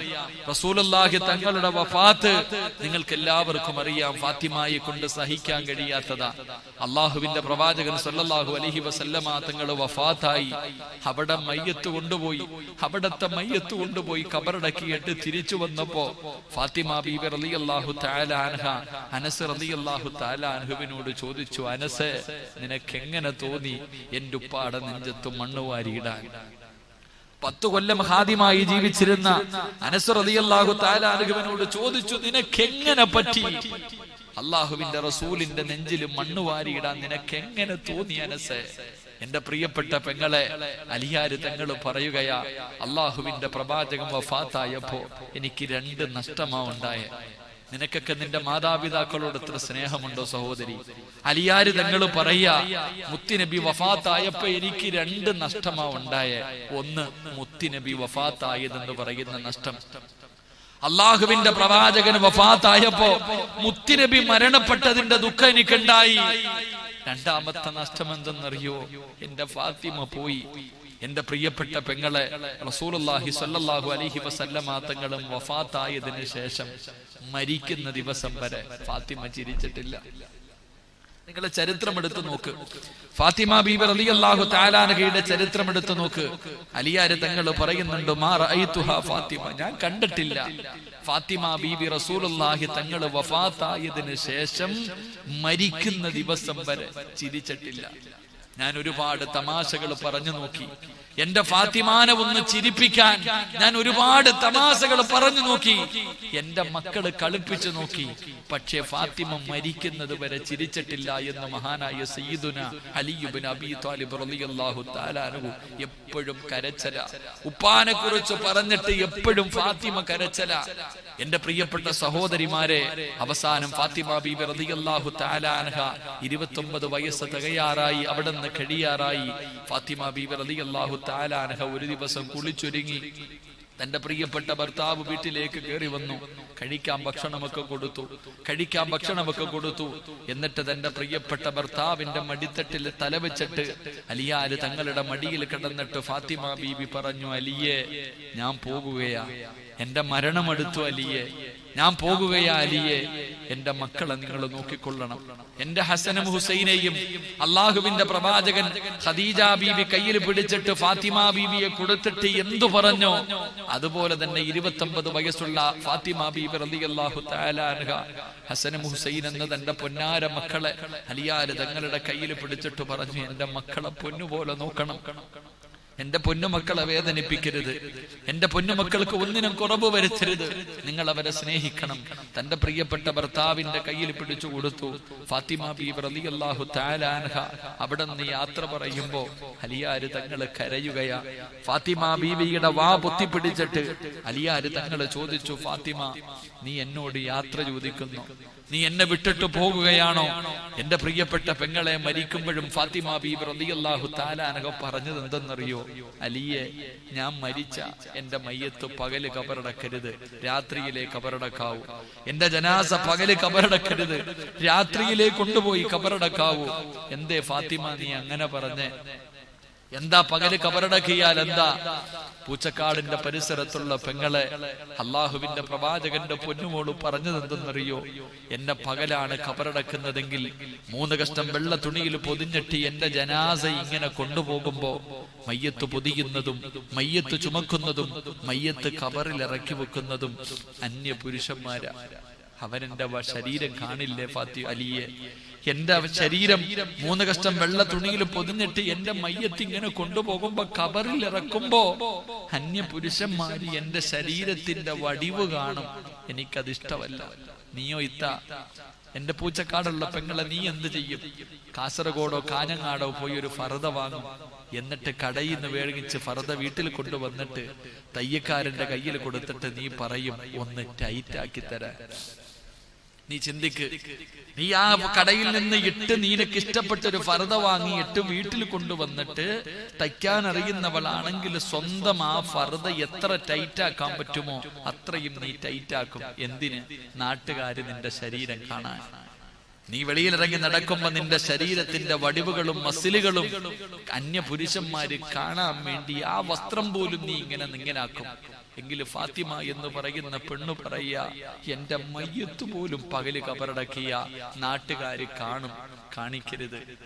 എന്നെ രാത്രിയിലെ കബറടക്കാവൂ. ആ ഫാത്തിമയുടെ പുറകിൽ നിന്ന ഉമ്മ നീ സ്വർഗത്തിൽ പോണ്ടേ. ആ ഫാത്തിമ ബീബർ അലിയല്ലാഹു തആല അൻഹയുടെ പുറകിൽ നിന്ന് പോകാൻ നിനക്ക് എന്ത് യോഗ്യതയുമ്മ? എന്റെ ഉമ്മ നീ ഇങ്ങനെ ആയിപ്പോയ? പ്രായമായില്ലേ ഉമ്മ മുടി നരച്ചില്ലേ ഉമ്മ ഒരുപാട് രോഗമില്ലേ ഉമ്മ? എന്റെ ഉമ്മ നന്നാകാത്ത ഈ പ്രായത്തിൽ? ഇനി എന്ന് നന്നാകാനാ? ഇനി എപ്പോഴാ നമ്മൾ നന്നാകാ? പ്രായം കുറേയായി നാൽപ്പത് വയസ്സ് കഴിഞ്ഞവന് ചെയ്യുന്ന ശിക്ഷയ്ക്ക് ചെയ്യുന്ന തെറ്റിന് ഇരട്ടിയാ ശിക്ഷയെന്ന് നബി മുഹമ്മദ് മുസ്തഫ ഉമ്മമാരോട് എന്റെ ഉമ്മ ഇന്നത്തെ പെണ്ണുങ്ങളുടെ വസ്ത്രധാരണയും നടത്തവും സ്വഭാവവും എന്റെ ഉമ്മ? എത്ര കൊണ്ടിട്ടും കണ്ടിട്ടും പഠിക്കാത്ത ഉമ്മ. എന്റെ ഉമ്മ ഇത്ര അഹങ്കാരം നിനക്ക്? പതിനെട്ടും ഇരുപതും ഇരുപത്തഞ്ചും മുപ്പതും വയസ്സുള്ള ഒരു പെണ്ണ് കാണിച്ചാ പറയാം അവൾക്ക് പക്വത എത്തിയില്ലേ? ഉപ്പ ഇനി നിനക്കെന്നാ പക്വത എന്റെ പ്രിയപ്പെട്ട സഹോദരങ്ങളെ സഹോദരിമാരെ ചിന്തിക്ക് നിങ്ങൾ നന്നാകേണ്ട സമയം ഒരുപാട് അതിക്രമിച്ചു കഴിഞ്ഞു. ഇനി എന്നത്തേക്ക് മാറ്റിവെച്ചിരിക്ക ഉമ്മമാരെപ്പോഴും പറയും പ്രസവത്തിന് മരണവേദനയാണെന്ന്. ഉമ്മാ ഈ മരണവേദന അനുഭവിച്ച നീയാണോ ഉമ്മ ഈ കാണിക്കണേ? ഞങ്ങൾക്ക് ആർക്കും പ്രസവ വേദന അറിയില്ല.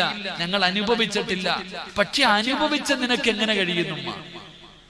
പ്രസവത്തിന് മരണവേദനയാണെന്ന് ഒന്നും രണ്ടും മൂന്നും പ്രാവശ്യം ഈ മരണവേദന അനുഭവിച്ച നീ എന്തേ ഉമ്മ നന്നാകത്ത്? ഇങ്ങനെ ആയിപ്പോയെ. നിനക്ക് തലമറയ്ക്കാൻ മടി. കല്യാണ വീടുകളിൽ എത്തിയ വഴുതിന് വരുമ്പോ ഫറദ കല്യാണ വീടെത്തിയ നിന്റെ കോലം നീ ചിന്തിച്ചിട്ടുണ്ടോ? ആണുങ്ങളുടെ മുന്നിലൂടെ നടക്കുന്ന രംഗങ്ങളെ കുറിച്ച് ആലോചിച്ചിട്ടുണ്ടോ? മരിച്ചവസാനം ഈ പള്ളിപ്പറമ്പിൽ വന്ന് കിടക്കുമ്പോൾ നിന്റെ ഗതി എന്താകുമെന്ന് നീ ആലോചിച്ചിട്ടുണ്ടോ? അള്ളാഹുവിന്റെ റസൂർ സല്ലല്ലാഹു അലഹി വസല്ലമാ തങ്ങൾ പറഞ്ഞു തലയുടെ ഒരു മുടി നിങ്ങളുടെ തലയിൽ കാണുന്ന ഒരു മുടി വെളിയിൽ കാണിച്ച നാളെ അള്ളാഹുവിന്റെ മലക്കുകൾ നരകത്തിന്റെ തൊപ്പി നിന്റെ തലയിൽ വെക്കുന്ന. ഒരു മുടി വെളിയിൽ കാണിക്കുന്ന പെണ്ണ് അവളെ തലയിലേക്ക് നരകത്തിന്റെ മലക്കുകൾ തൊപ്പി കൊണ്ട് വെക്കുമെങ്കിൽ ഉരുകി ഒലിച്ചു പോകുമ്പോ ഒരു മുടി കാണിച്ചതിന്റെ പേരിൽ.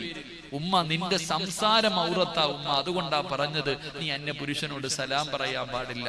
ഒരു പെണ്ണ് അന്യ പുരുഷനോട് സലാം പറയാൻ പാടില്ല എന്ന് പറയാനുള്ള കാരണം നിന്റെ ശബ്ദം ഔറത്തായത് കൊണ്ടാണ് പക്ഷെ ഇന്നത്തെ നമ്മുടെ സഹോദരിമാർ ഫാത്തിമ ബീബി അള്ളാഹു താലാനഹ മയ്യത്ത് കൊണ്ടുപോകുന്ന സമയത്ത് പോലും മൂന്ന് കഷ്ടം വെള്ള തുണിയിൽ പൊതിഞ്ഞ് കെട്ടിക്കൊണ്ടു പോകുമ്പോ എന്റെ ശരീരത്തിന്റെ വടിവ് മറ്റുള്ളവർ കാണാൻ സാധ്യതയുണ്ട്. അതുകൊണ്ട് എന്നെ അങ്ങനെ കവറടക്കരുത് എന്നെ രാത്രിയിലെ അടക്കാവൂ എന്ന് തന്റെ പ്രിയപ്പെട്ട ഭർത്താവിനോട് മഹതിയായ ഫാത്തിമ ബീബി അള്ളാഹു താലാനഹ പറഞ്ഞു കൊടുക്കുമ്പോ തന്റെ പൊന്നാര മക്കളെ കെട്ടിപ്പിടിച്ച് ചുംബനം കൊടുത്തു. എല്ലാവരോടും യാത്ര പറഞ്ഞു അവസാനം ഫാത്തിമ ബീബി റളിയല്ലാഹു തആല അൻഹ കഫൻ തുണിയും കയ്യിലെടുത്തു വെച്ചു. അള്ളാഹുവിന്റെ പ്രവാചകന്റെ പൊന്നുമോൾ ഇരുപത്തൊമ്പതാമത്തെ വയസ്സിൽ നിസ്കരിച്ചു ഒതുവെടുത്തു പഠിക്കണം പെങ്ങളെ അതിനാ മരണമെന്ന് പറയുന്നേ. അള്ളാഹുവിന്റെ പ്രവാചകന്റെ പൊന്നുമോൾ നീ ചിന്തിക്ക് റസൂലുള്ളാഹി സ്വല്ലല്ലാഹു അലൈഹി വസല്ലമ തങ്ങൾ ആയിഷ എന്ന് പറയുന്ന പതിനാറ് വയസ്സുള്ള പതിനാറോ പതിനെട്ടോ വയസ്സോ മാത്രം പ്രായമുള്ള തന്റെ പ്രിയപ്പെട്ട ഭാര്യയുടെ മടിത്തട്ടിൽ കിടന്നിട്ട് റസൂലുള്ളാഹി സല്ലല്ലാഹു അലൈഹി വസല്ലമ തങ്ങൾ ഈ ലോകത്തോട് യാത്ര പറഞ്ഞപ്പോ ഫാത്തിമ എന്ന് പറയുന്ന ആ മുത്തുനബിയുടെ പൊന്നുമോൾ തന്റെ പ്രിയപ്പെട്ട ഭർത്താവായ അലിയാര് തങ്ങളുടെ മടിത്തട്ടിൽ കടന്ന് പൊരുത്തം ചോദിച്ചിട്ടാ പോയെ. ഫാത്തിമ കണ്ടു മങ്ങളെ ഫാത്തിമ ബീവർ അലി അള്ളാഹു താലാനഹ കണ്ടു. അള്ളാഹുവിന്റെ പ്രവാചകന്റെ മടിയില തന്റെ ഉമ്മ കിടന്നത്. ഖദീജ ബീവി റളിയല്ലാഹു താലാനഹ ആ ചെറിയ പ്രായത്തിൽ ഫാത്തിമയുടെ ചെറിയ പ്രായത്തിൽ കണ്ടു മരിക്കുന്നതിന് തൊട്ടു മുമ്പ് തന്റെ വാപ്പാടെ മടിയിൽ കിടന്ന് വാപ്പയോട് പൊരുത്തം ചോദിച്ചു.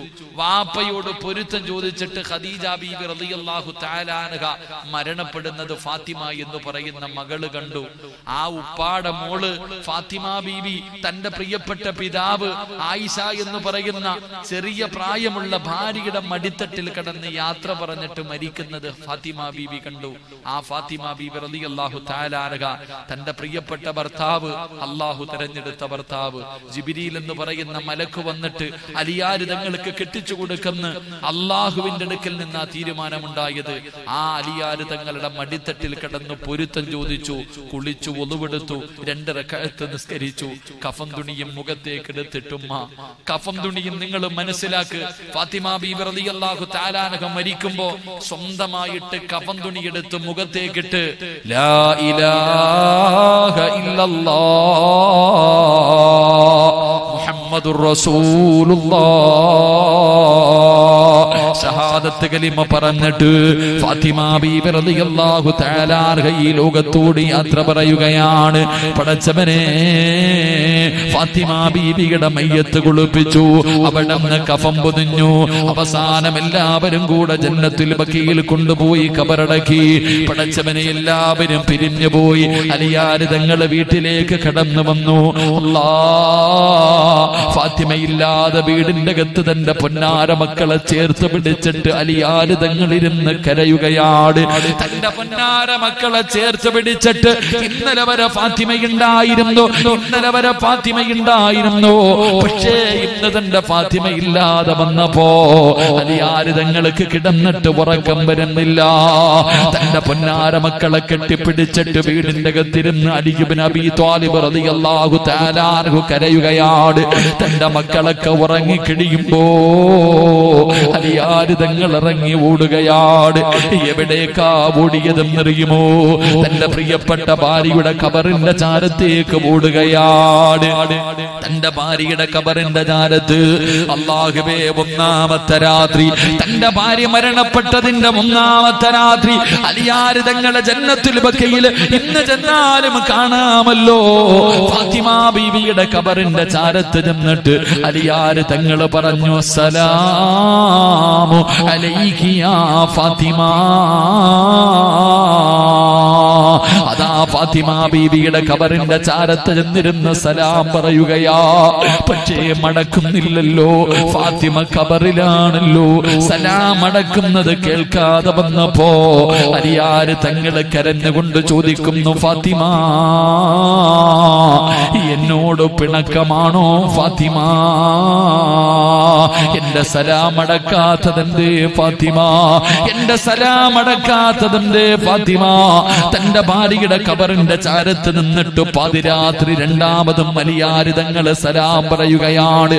മണിയറയിൽ പിണങ്ങിക്കിടക്കുന്ന ഭാര്യയുടെ പിണക്കം മാറ്റുന്നത് പോലെ അരിയാരിതങ്ങൾ രണ്ടാമതും പറഞ്ഞു പിണങ്ങല്ലേ ഫാത്തിമ? എന്റെ സലാമടക്കു ഫാത്തിമ എന്റെ സലാമടക്കു ഫാത്തിമ. അലിയാരിതങ്ങളുടെ സലാമടക്കാതെ വന്നപ്പോ കബറിന്റെ ചാരത്ത് ഇരിക്കുകയാ. തന്റെ പ്രിയപ്പെട്ട ബാലികയുടെ കബറിന്റെ ചാരത്തിരുന്നിട്ട് അലിയാര് തങ്ങൾ വിളിക്കുന്നു ഫാത്തിമ പിണങ്ങല്ലേ ഫാത്തിമ? അലിയാര് തങ്ങൾ കബറിനോട് പറയുകയാ അതാലിയാര് തങ്ങൾ ഫാത്തിമ ബീബിയെ കബറടക്കിയ ആ കബറിന്റെ ചാരത്തിരുന്നിട്ട് കബറിനോട് ചോദിക്കുകയാ എന്റെ ഫാത്തിമയ്ക്ക് എങ്ങനെയുണ്ട്? എന്റെ ഫാത്തിമയ്ക്ക് സുഖമാണോ? എന്റെ ഫാത്തിമയുടെ വിശേഷമെന്ന് പറഞ്ഞു തരുവോ? പള്ളിക്കാട്ടിൽ കൊണ്ട് കബറടക്കിയിട്ട് ഒന്നാമത്തെ രാത്രി ഭാര്യയുടെ കബറിന്റെ ചാരത്ത് ചെന്നിരുന്നിട്ട് ചോദിക്കുകയാ എന്റെ ഫാത്തിമയ്ക്ക് എങ്ങനെയുണ്ട്? എന്റെ ഫാത്തിമയ്ക്ക് സുഖമാണോ? എന്റെ ഫാത്തിമ ആരെന്നറിയോ? എന്റെ ഫാത്തിമ ആരെന്നറിയോ? കല്യാണത്തിന്റെ ഒന്നാമത്തെ രാത്രി മണിയറയ്ക്കകത്ത് കയറി ചെന്ന എന്നോട് നിന്നെ കുറിച്ച് പറഞ്ഞു തന്നവളാ എന്റെ ഫാത്തിമ. ആരോടാ പറയുന്നത്? ഖബറിനോട്. ഖബറിനോട് പറഞ്ഞു കൊടുക്കുകയാണ്. വിവാഹത്തിന്റെ ഒന്നാമത്തെ രാത്രി നിന്നെ കുറിച്ച് എനിക്ക് പറഞ്ഞു തന്നവളാ എന്റെ ഫാത്തിമ. എന്റെ ഫാത്തിമയെ വേദനിപ്പിക്കല്ലേ? എന്റെ ഫാത്തിമാനെ വേദനിപ്പിക്കല്ലേ പള്ളിക്കാട്ടിന് കബറിന്റെ ചാരത്തിരുന്ന് പറഞ്ഞു എന്ന് ചരിത്രം പറയുമ്പോ എന്റെ പ്രിയപ്പെട്ട പെങ്ങളെ നമുക്ക് അള്ളാന്റെ മുന്നിൽ പൊട്ടിക്കരഞ്ഞു ദുആ ചെയ്യാ. നമ്മളൊക്കെ എത്ര പാപം ചെയ്തവരാ. ഞാനും നിങ്ങളും എത്ര പാപം ചെയ്തവരാ? ആ ഫാത്തിമ ബീവി റളിയല്ലാഹു തആലാർക കിടക്കുന്ന സ്വർഗമുണ്ടല്ലോ ആ സ്വർഗത്തിൽ കിടക്കുന്നത് പോയി ആ സ്വർഗമൊന്ന് കാണുന്നത് പോയി ആ സ്വർഗം അല്ലാരോട് ചോദിക്കുന്നത് പോയിട്ട് ആ സ്വർഗത്തിന്റെ പരിമളം അഞ്ഞൂറ് വർഷത്തെ വടി ദൂരം വരെ അടിച്ചു വീശുമെന്നാണ്. അതൊന്ന് ശ്വസിക്കാനെങ്കിലും എനിക്കോ നിങ്ങൾക്കോ യോഗ്യതയുണ്ടോ? ഭർത്താവെന്ന് പറഞ്ഞ് നെളിഞ്ഞു നടക്കുന്ന നമുക്കാർക്കെങ്കിലും പറയാൻ കഴിയോ? സന്തോഷത്തോടെ ഇവിടെ ഇരുന്നിട്ട് പറയാൻ കഴിയോ ഇന്ന് രാത്രി നീ മരിച്ചാ നിന്റെ ഭാര്യ നിനക്ക് പൊരുത്തം തരുമെന്ന് തോന്നുന്നുണ്ടോ? ഞാനും നിങ്ങളും ചെയ്തു കൂട്ടിയത് എങ്ങനെയാണല്ലോ? സ്വന്തം ഭാര്യയുടെ പൊരുത്തം പോലുമില്ലാതെ. ഏ ഭർത്താവേ ഏറ്റവും നല്ല മനുഷ്യൻ ആരെന്നറിയോ ഈ ഈ കാണുന്ന പൂച്ചക്കാട് പള്ളിയുടെ പ്രസിഡന്റ് ആകുമ്പോഴല്ല ഇവിടത്തെ ഇമാമാകുമ്പോഴല്ല കമ്മിറ്റിക്കാരനാകുമ്പോഴല്ല നാട്ടുകാർ മുഴുവനും ആദരിക്കുന്നവനാകുമ്പോഴല്ല ഒരു മനുഷ്യനെ ഏറ്റവും നല്ല മനുഷ്യനാകുന്നത് എപ്പോഴെന്നറിയോ സ്വന്തം ഭാര്യ നല്ലത് പറയുമ്പോഴാ സ്വന്തം ഭാര്യ നിന്നെ കുറിച്ച് നല്ലത് പറയുമ്പോഴാടാ നീ ഒരു വിജയിയാകുന്നത്. നീ രക്ഷപ്പെടുന്നവനാകുന്നത്. അതുകൊണ്ട് എന്റെ പ്രിയപ്പെട്ടവരോട് പറയുകയാ ഈ ചരിത്രത്തിൽ നീ അലിയാര് തങ്ങളെ പോലെയാകണം. അലിയാര് തങ്ങളുടെ സ്വഭാവം നിനക്കുണ്ടാകണം. ആ അലിയാര് തങ്ങളെ പോലെ പഠിക്ക്. അല്ലാതെ പണമുള്ള തൊലി വെളുപ്പുള്ള ഒരു പെണ്ണിനെ കിട്ടുമ്പോ പെറ്റ തള്ളയ മറന്നു പോകുന്നവനാ നമ്മൾ. ഒരു പണക്കാരന്റെ മകളെ കിട്ടുമ്പോ അവൾ പറയുന്നത് മുഴുവനും കേട്ട് സ്വന്തം ഉമ്മാനെയും കൂടപ്പറപ്പിനെയും തെള്ളിക്കളഞ്ഞിട്ട് ഇറങ്ങി പോകുന്നവനാകരുത്. അള്ളാഹുവിന്റെ റസൂൽ പറഞ്ഞു ഒരു കാലത്തും സ്വർഗത്തിൽ കിടക്കാത്ത മൂന്ന് വിഭാഗമുണ്ട്. ഒരിക്കലും അവർ സ്വർഗത്തിൽ കിടക്കില്ല. മുത്തുനബിയോട് സഹാബത്ത് ചോദിച്ചു നബിയേ അവരാരാണ് നബിയെ? ഒരിക്കലും സ്വർഗത്തിൽ കിടക്കാത്ത മൂന്ന് വിഭാഗമാരാ? മുത്തിനബി പറഞ്ഞു ഒന്നാമത്തെ വിഭാഗമാരെന്നറിയോ പെണ്ണിന്റെ വാക്ക് കേട്ട് ജീവിക്കുന്ന ഭർത്താവാ. പെണ്ണിന്റെ അടിമയായി കഴിയുന്ന ഭർത്താവ് ഭാര്യ പറയുന്നതിനപ്പുറം ചലിക്കൂല. ഭാര്യ പറയുന്നതിനപ്പുറം ചലിക്കൂല. പടച്ചവനെ ഭാര്യ മാത്രം പറയുന്നതനുസരിച്ച് ജീവിക്കുന്ന ചില ഭർത്താക്കന്മാരുണ്ട്. വാപ്പാന എന്ത് പറഞ്ഞാൽ ഉമ്മാന എന്ത് പറഞ്ഞാൽ ഭാര്യയുടെ വാക്ക് കേട്ടിട്ട് മാതാപിതാക്കൾക്കെതിരെ തിരിയുന്നവരുണ്ട്. മോനെ ഉമ്മ മക്കുത്തൂമറിയാഹു അള്ളാഹുവിന്റെ പ്രവാചകന്റെ നിങ്ങൾക്ക് ചരിത്രം അറിയുമല്ലോ. അള്ളാന്റെ റസൂലിന്റെ സഹാബിയാണല്ലോ അൽക്കമ മരിക്കുന്ന സമയത്തിൽ ഇലാഹ ഇല്ലല്ല പറയാ നാവ് പൊങ്ങുന്നില്ല. സ്വഹാബികൾ പറഞ്ഞു നബിയെ ലാ ഇലാഹ ഇല്ലല്ല പറയാ പറ്റുന്നില്ല. മുത്തി നബി ചോദിച്ചു ഉമ്മ ജീവിച്ചിരിപ്പുണ്ടോ? വിളിച്ചു കൊണ്ടുവാ സഹാബ. വിളിച്ചു കൊണ്ടുവാ സഹാബ. സഹാബത്ത് വിളിച്ചു കൊണ്ടുവന്നു. ഉമ്മാനെ കൊണ്ടുവന്നു. മുത്തി നബി ചോദിച്ചു ഉമ്മ അൽക്കമയുമായിട്ട് നിങ്ങളെ എങ്ങനെയാ ഉമ്മ പറഞ്ഞു നബിയെ എനിക്കവനെ വല്ലാത്ത ഇഷ്ടമാണ്. എനിക്കവനെ ജീവനാണ്. വല്ലാത്ത സ്നേഹമായിരുന്നു. പക്ഷേ പെണ്ണ് കെട്ടിക്കഴിഞ്ഞപ്പോ അവൻ എന്നെ മറന്നു നബിയെ. പെണ്ണ് കെട്ടിക്കഴിഞ്ഞപ്പോ എന്റെ മകന്റെ സ്വഭാവമൊക്കെ മാറി. അവൻ എന്നെക്കാൽ സ്നേഹം അവന്റെ ഭാര്യയോടാ. അവൻ എന്നെക്കാൽ സ്നേഹം നൊന്തുപറ്റ എന്നെ അവനൊരു പെണ്ണിനെ കിട്ടിയപ്പം മറന്നുപോയി നബിയെ.